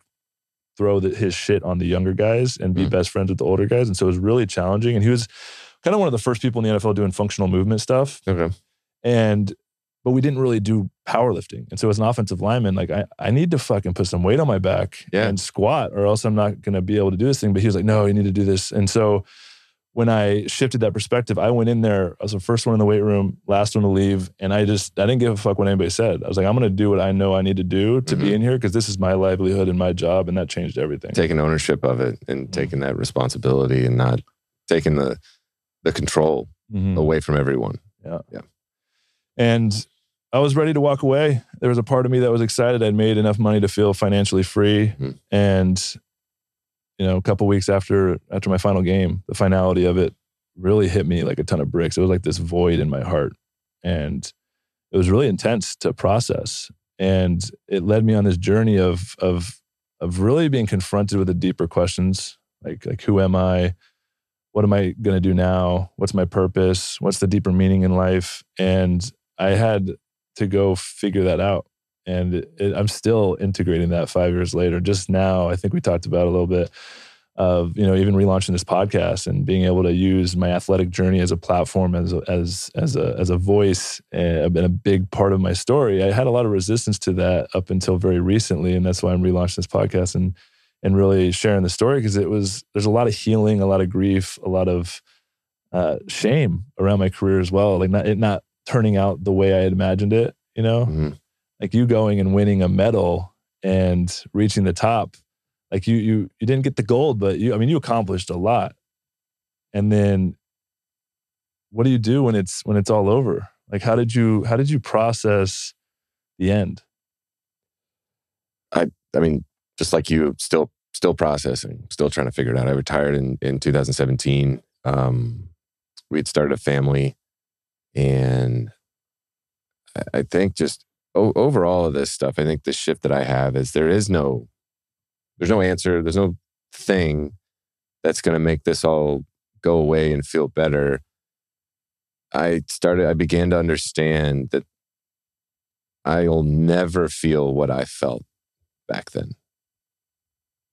Ever. I'll be, I'll be lucky if I get close to it. But that was a very, it's a unique experience to be so, I was built for the decathlon and I was so on purpose. I was so aligned in where I was supposed to be, when I was supposed to be, around the people I was supposed to be around, I, I, everything was so like just ordained and and there i got caught up trying to find that again and trying to maybe almost artificially create it and and just living in daily frustration of it not existing and when you say it is it a feeling that you're chasing or is it being on purpose i think you you know what that feels like mm-hmm specifically. I think athletes specifically know what that feels like because you're in this thing that your body was was built for, that you're good at, that you achieve success, that you get to the the highest of heights with,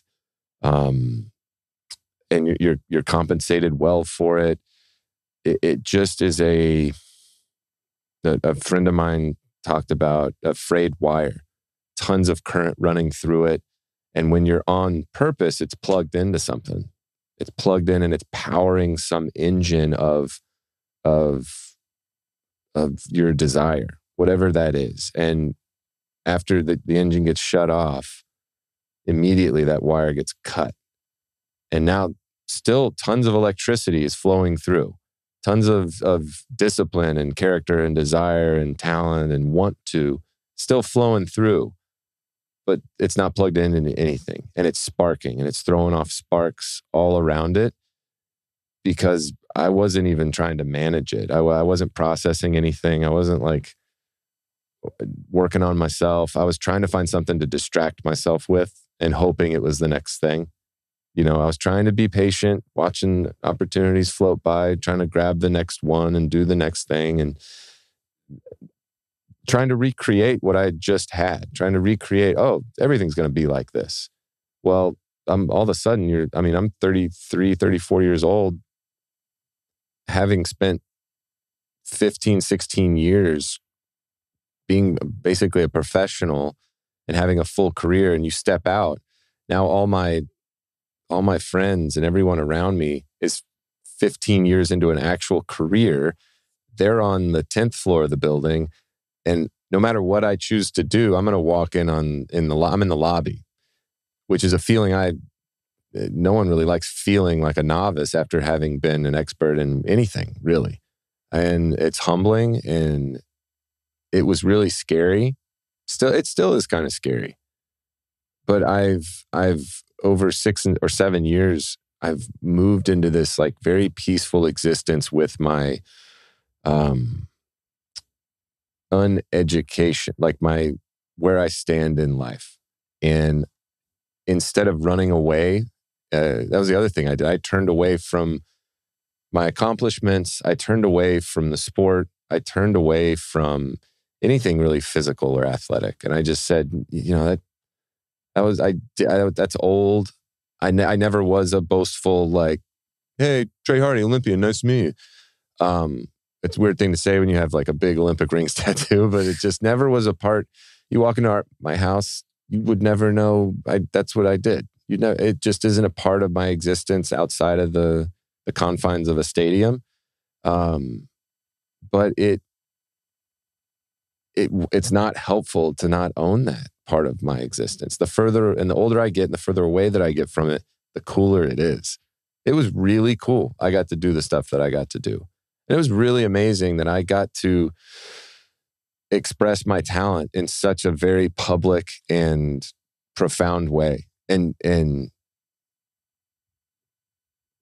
I, I think I just had a terrible relationship with that immediately after I retired. And I, I tried to find something else to go be the best in the world at. And I honestly think that might have been like my LinkedIn little subheading when I retired. It's like former world, former best athlete in the world, world champion, whatever. And then searching for the next thing I'll be the best in the world at.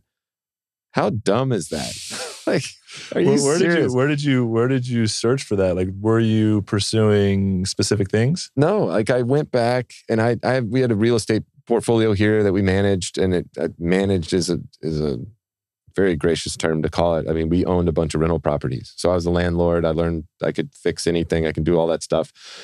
Um, just looked where we were going to place our money. Basically, I was a money manager, and most of our assets were in single family homes here in Austin.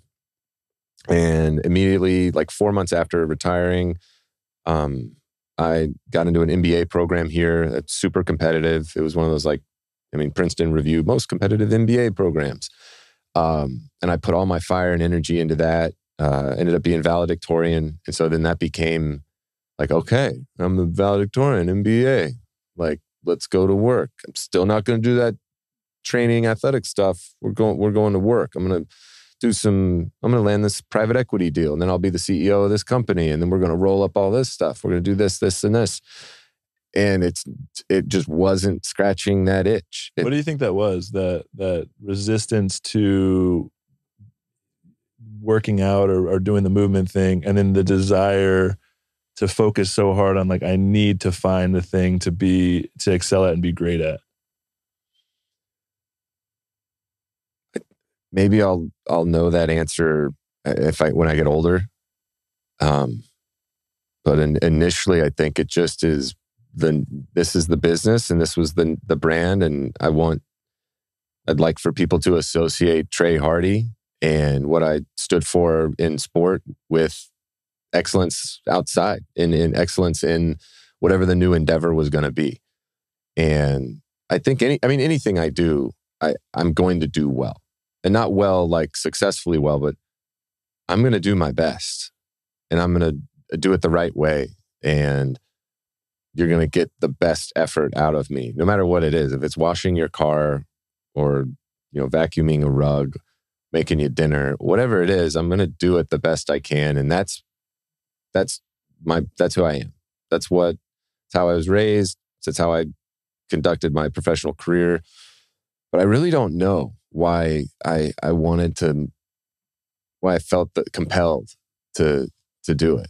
But Can you speak to the the the emotional process? Because I what I think you know going on on my own journey and the resources that the NFL provides in the transition program are in a way really really laughable. And it's really focused on like you know trying to find guys new jobs or helping them with a resume. But there's nothing really that facilitates a safe space for feelings to be present. And on this journey I've been on, a lot of my healing is because I just needed to grieve the loss of an identity of everything I worked hard for, everything I received love for, everything I pursued greatness at, all the energy I put in, all the feelings of victory and defeat and just the identity of being a, an athlete at that level, everything of every aspect of who I was was built on that.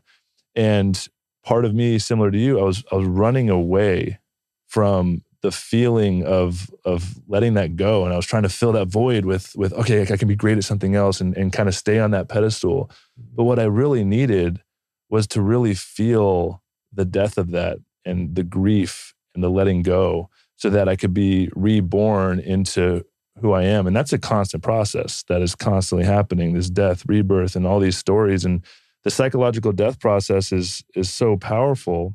And our society at whole is it's a big a part of a bigger systemic issue that we don't really have the tools or processes for those those transitional periods. But as I've been able to access those emotions and feel the the loss of that and the intensity of emotions in my heart, I've actually been able to integrate it into who I am and actually revisit it and talk about it and now like own it, right? Instead of running away from it. Mm-hmm. Yeah, I'm, really happy that you said the word death.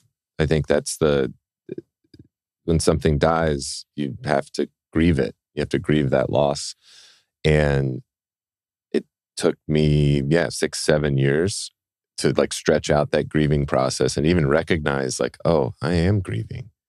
And it's not this like ego death thing. I'm just grieving that life, that I know what it feels like, that, that feeling. I'm just grieving that part to admit that it's gone and to accept that it was accept that it was good and accept that it's going to be a part of me moving forward but only in memory and only in experience and not who I was and not continuing to play a, a large role in my life. I think you said it really, really well.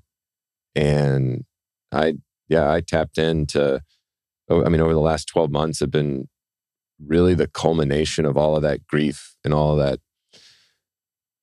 really the shame that wasn't allowing me to grieve and all of the emotion just trapped in that frayed wire just exploded and it almost ruined my marriage. It almost ruined you know my relationship with my young kids. I i was lost to all my friends. I went months without speaking to anybody and i found myself in a hotel room in Eugene, Oregon during the World Championships um, this summer, looking for th- things I could use to end my life.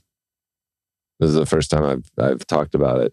Really, this will be public, but my friends know, and my wife definitely knows. But it was really scary, beyond scary. And there, there's no resource for Olympians. There's no, there's nothing for us to prepare us for the grief for we're, we're just out there trying to process it all on our own you know and your family doesn't understand the only people that really understand are your compatriots are the people that are also doing that the people that have been there before and professionals and i yeah i was i i call it, I was just scraping, I was at the very, very bottom of the barrel and I needed to get there. And I needed to to get there to realize that I hadn't done any of the stuff that we're talking about. I hadn't grieved. I hadn't I hadn't mourned. I hadn't I had like just moved on and just not processed any emotion. I hadn't done any of that. And it was dragging me all the way down. And it felt like someone else was at the wheel, driving the car, and I was just screaming from the back seat and had no control over my life, over my emotions, over anything. And it, it goes way, there's all kinds of tangents within that. And earlier, I mean, you talked about the like psilocybin and the ability to, what that's doing in like maps and the ability for PTSD and TBIs and and being able to process things and and just not move on, but just aid and, and facilitate. And so I had an unbelievable therapist and had a I've had a great experience with that medicine that helped me tap into all of those emotions that I've been burying, which for my entire life, and face them and deepen my relationships with myself, with God, with my spouse, with my kids, with my friends. That without, I don't know if I'd be here today. And that that's not like hyperbole or trying to be dramatic. It's very real. And if somebody is in any kind of, if anybody, if that resonates with anybody, call me. Hit me up on on social media and let's let's talk because I've been there and it's close. And I sometimes just would have loved somebody to talk to, would have loved somebody to that that's been through it to just tell me it's it's going to be okay, you know. Because yeah, in some of my in therapy, I was sitting and I was talking to God, asking God, was that it? Was that my only purpose? Am I done? And and I got those answers. And it's it's just like we're talking about, you have to experience it to really understand it. I just don't I don't want if anybody's listening to to have to go through that. What was it like when you were in that hotel room and these thoughts of taking your own life? Where did you go? How did you get out of that? What, what did you, was it a wake up call like, oh, wow, I'm really struggling? And in that moment, hitting rock bottom, how did you start pulling yourself out of that?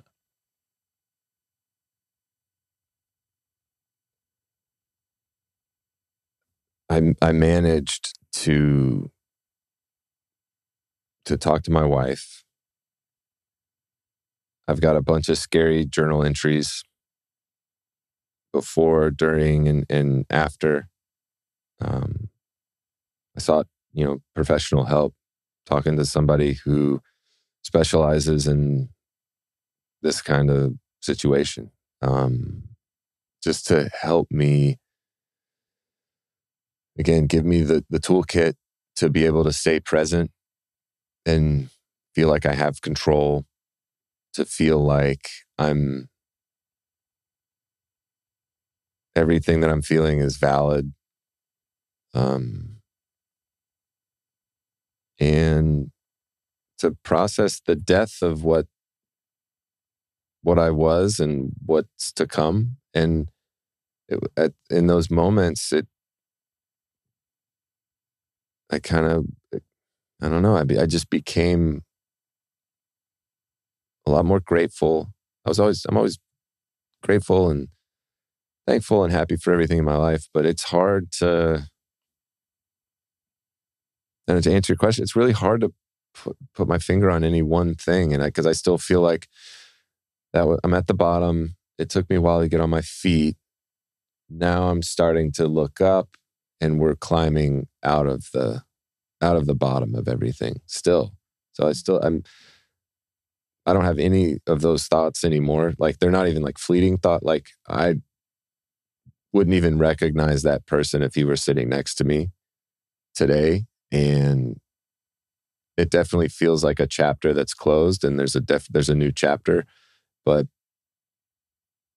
can you speak to the power of the psilocybin experience and kind of where that played into and the timing of seeking out that experience? Did you have resistance to it before? Or was it kind of a place of i'll try anything because i need to really figure this out? And can you talk about that experience specifically what realizations you had and then how it shifted your perspective and, and was a tool to help you start digging yourself out of this hole yeah i had been off for you know a couple of years, and again, it super strained relationships. Um, marriage was difficult, especially three young children. Marriage was really difficult, and I knew I did not want to get on any pharmaceutical drugs. I didn't want to take any. I don't know. I didn't want to be on drugs. You know, that's what I thought. I, I just knew I was going to stand firm on that. I'd had a, a therapist recommend it. Um, and I just said, I know there's got to be another way. I, I, I'm going to work myself out of this. Let's, we're just going to keep working. And I, I don't want to do drugs. That was just kind of it.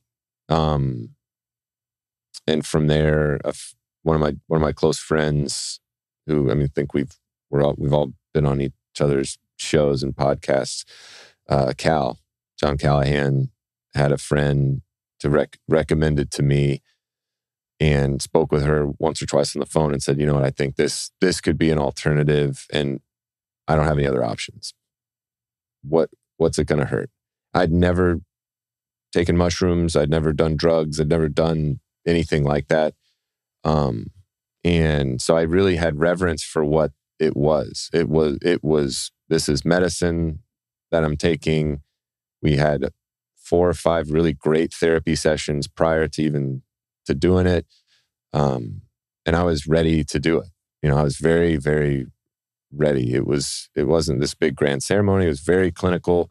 Here are our steps. Here's what we're going to do. Here's the medicine. If you don't want to take it, that's still fine. I'm like, okay.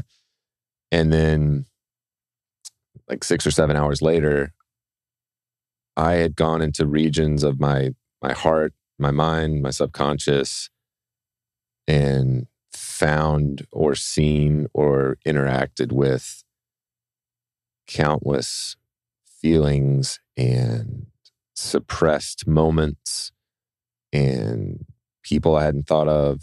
And I felt the entire spectrum of emotion from fear and hate all the way into like love that is hard to describe.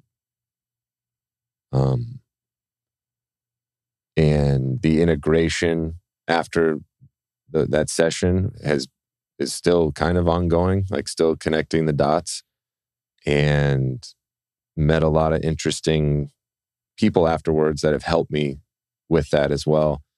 And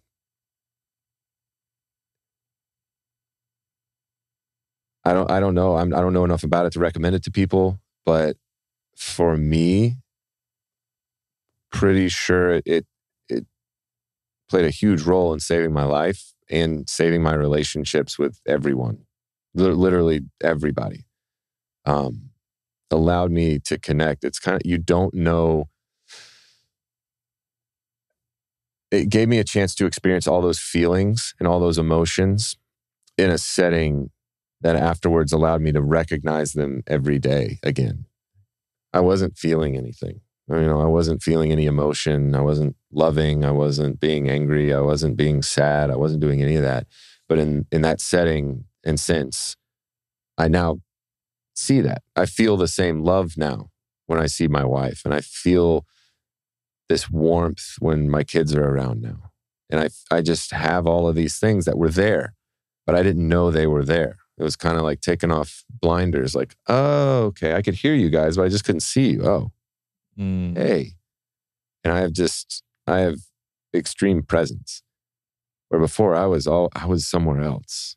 Mm. I was still struggling with who am I questions. What am I doing here now? Questions. Yeah, I want to highlight the the power of the the feelings because I think a lot of people talking about psychedelics or what they may think about psychedelics is like this visionary space or it accesses different dimensions and you maybe see different visuals.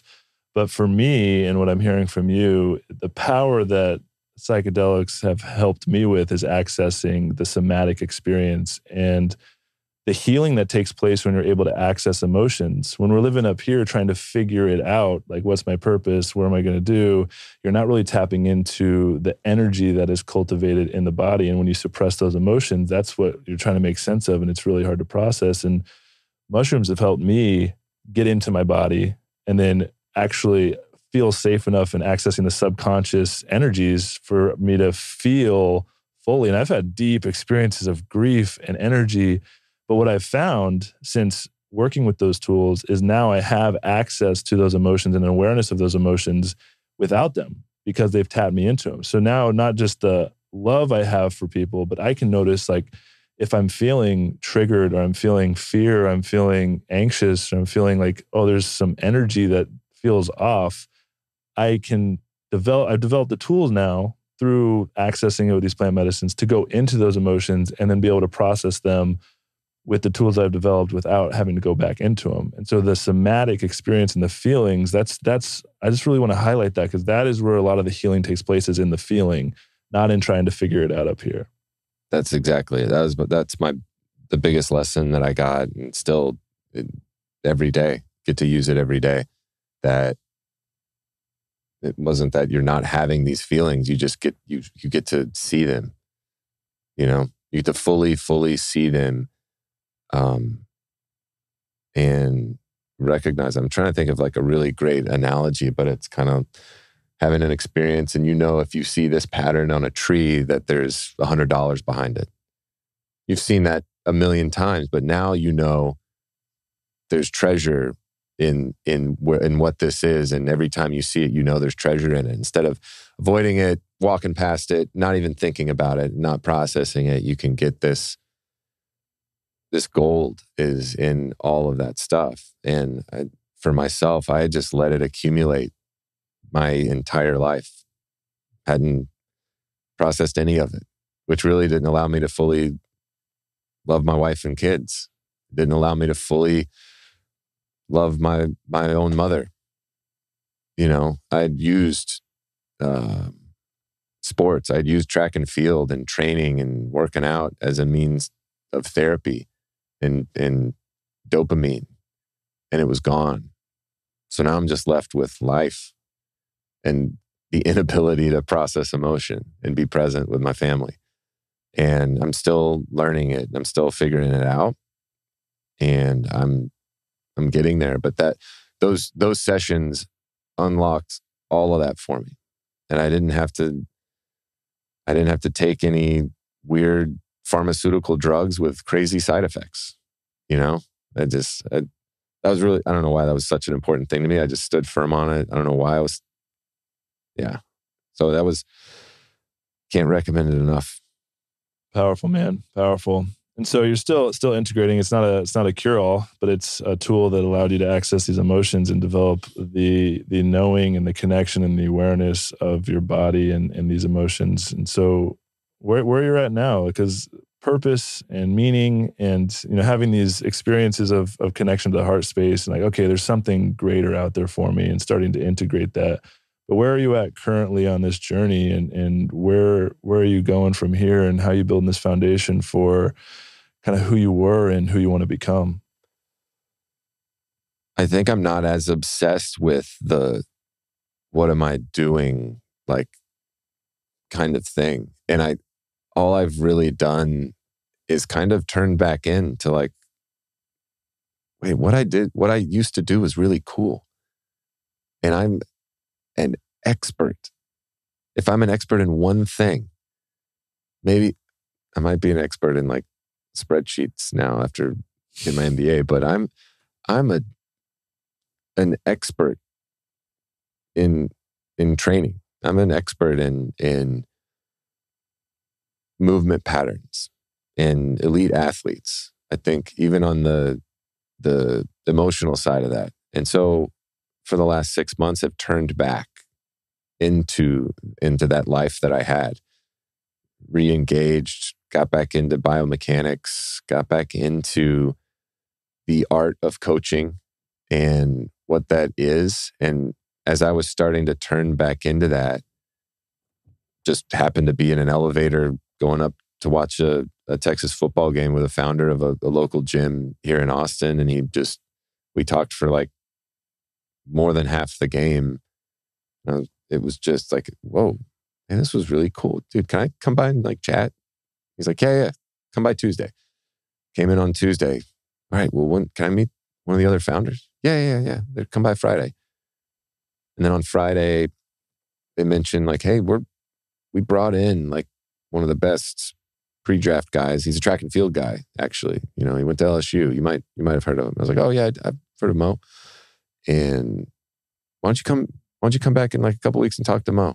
He'll be back and talk about the the pre-draft stuff and maybe there's a, a space for you maybe you can help out or something just see if it's something you want to do and right five minutes after sitting down in his office two weeks later i was like oh this is going to be awesome and i started to get that little feeling that you get when you when you're laying out at like a training plan and you're looking at oh okay us championships are in nine months okay let's lay out the plan and started to get those feelings again.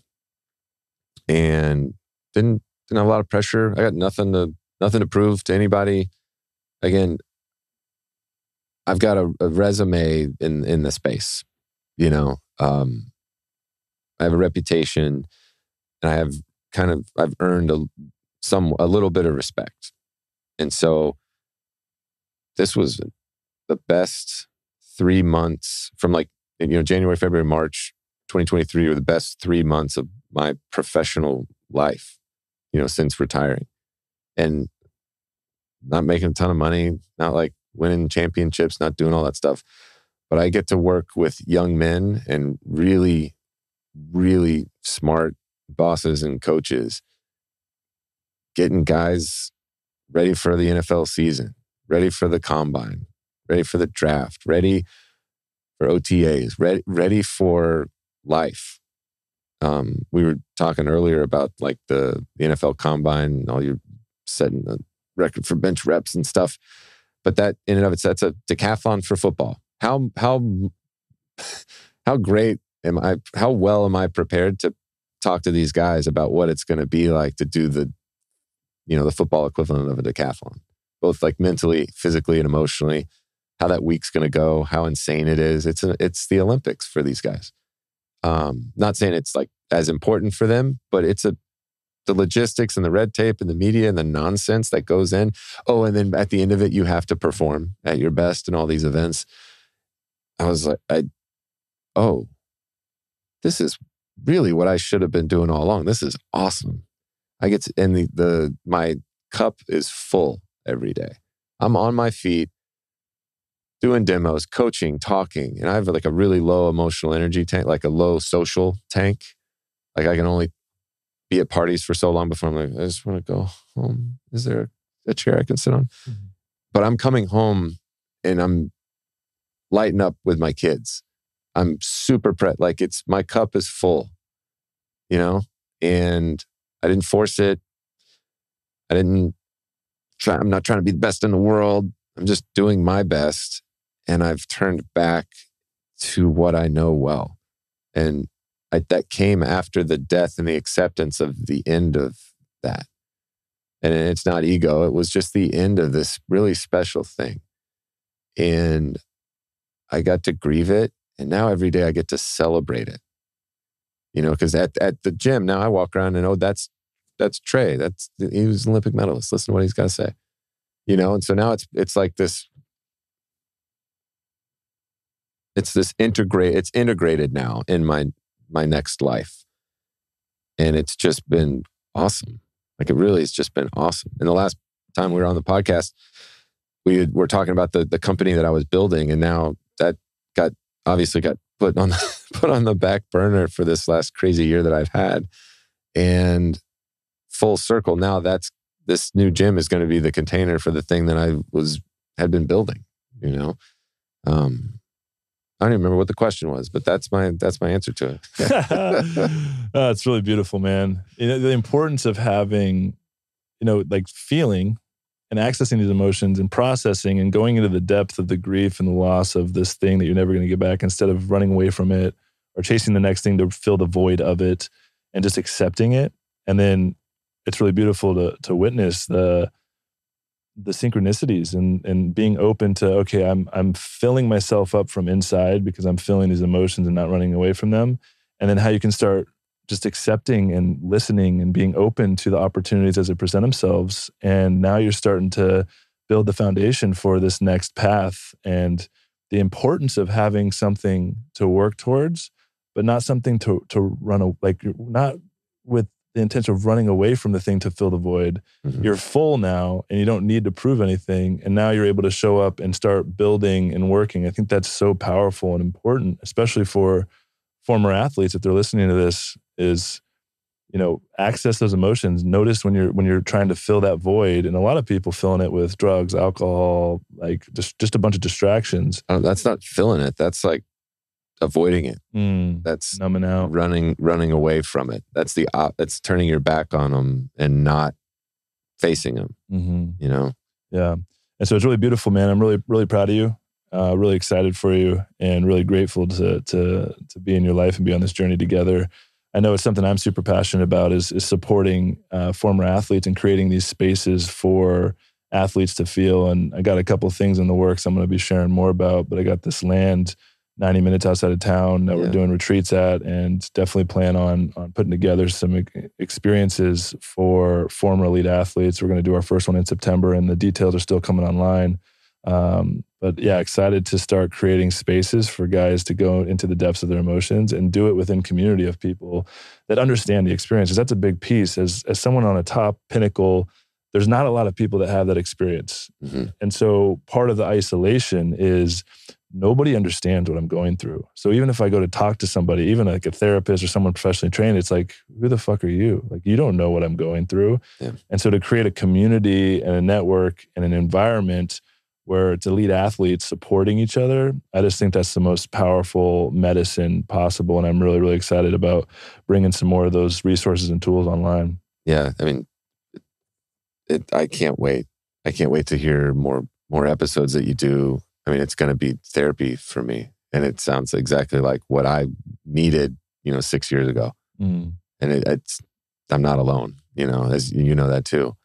Um, and those lessons, I think, translate. I think the the the roots of the the, the seed that you'll plant with those retreats and stuff, the the impact that it's going to have on on not only just the people that that get to go and experience it, but their families, their friends, and they just get to go off back in their communities and be like the shining light that they were when they were playing.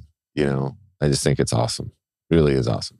Oh man, I deeply appreciate you sharing your story. We covered a lot of ground from the top of the mountain, like the most insane experience and all the work you put in to to the depth of of wanting to take it all and let it all go and then being able to find healing within that and now building back up. I'm just just really grateful for your openness, for your vulnerability, for your story, for who you are and I feel I say this all the time, we're just getting started, man, and I'm excited to be on this journey with you. Is there any final words of wisdom for specifically for for any elite athletes that may be listening to this uh, that may be struggling with the transition because we're always in transition. We're always going to be integrating this. We're, we're always going to have that like man that feeling i'm never going to have again. No matter what i do like it's just it's just not going to be the same. And so you always you have to integrate that within yourself. So is there any words of wisdom for somebody no matter where they're on their journey that might be facing some of that challenge or haven't been able to fully integrate it yet? Ooh.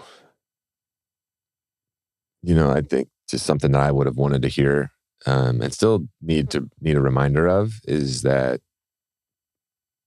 shame shame is something that you put on yourself, um, and it's unnecessary, and that you're loved, and there's nothing shameful about any emotion that you'd ever feel. Those are real. There's no reason to to place those on yourself. And the only way out of of that that box, the only way out of that that shame spiral is to face those emotions.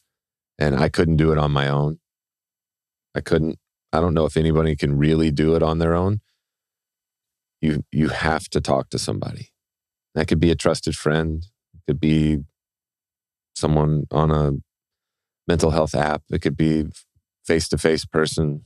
Could be with drugs. It could be pharmaceutical. It could be any anything in a going to someone's office.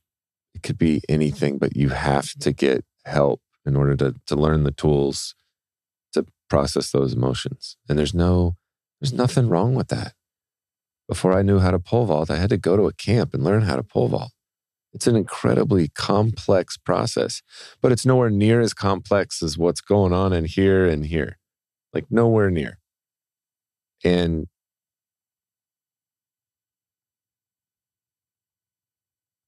and just reach out reach out to me if you ever need help. Mm. Yeah. Same here. Reach out to me as well. Man, really appreciate you. Where can uh where can people people find you if they want to connect with you or find out what you're working on? Uh usually trying to take a nap if uh I have the time. But uh no, I'm at uh at Trey Hardee on every social media. Not really into TikTok yet, but um just at Trey Hardee, just reach out, shoot me a note, DM. Um it went like all my my Instagram, it went from like training, competing, training, competing, training, competing, and then it was like six years of just kid pics and like losing followers. Now that I'm back in like the training and and stuff uh setting, there's a little it's a little cooler now. Um but yeah, I mean that just reach out. Yeah, I can't overemphasize that enough because that was that was what I needed. I needed that that like lifeline. But yeah, I'm on Instagram and Twitter mainly though.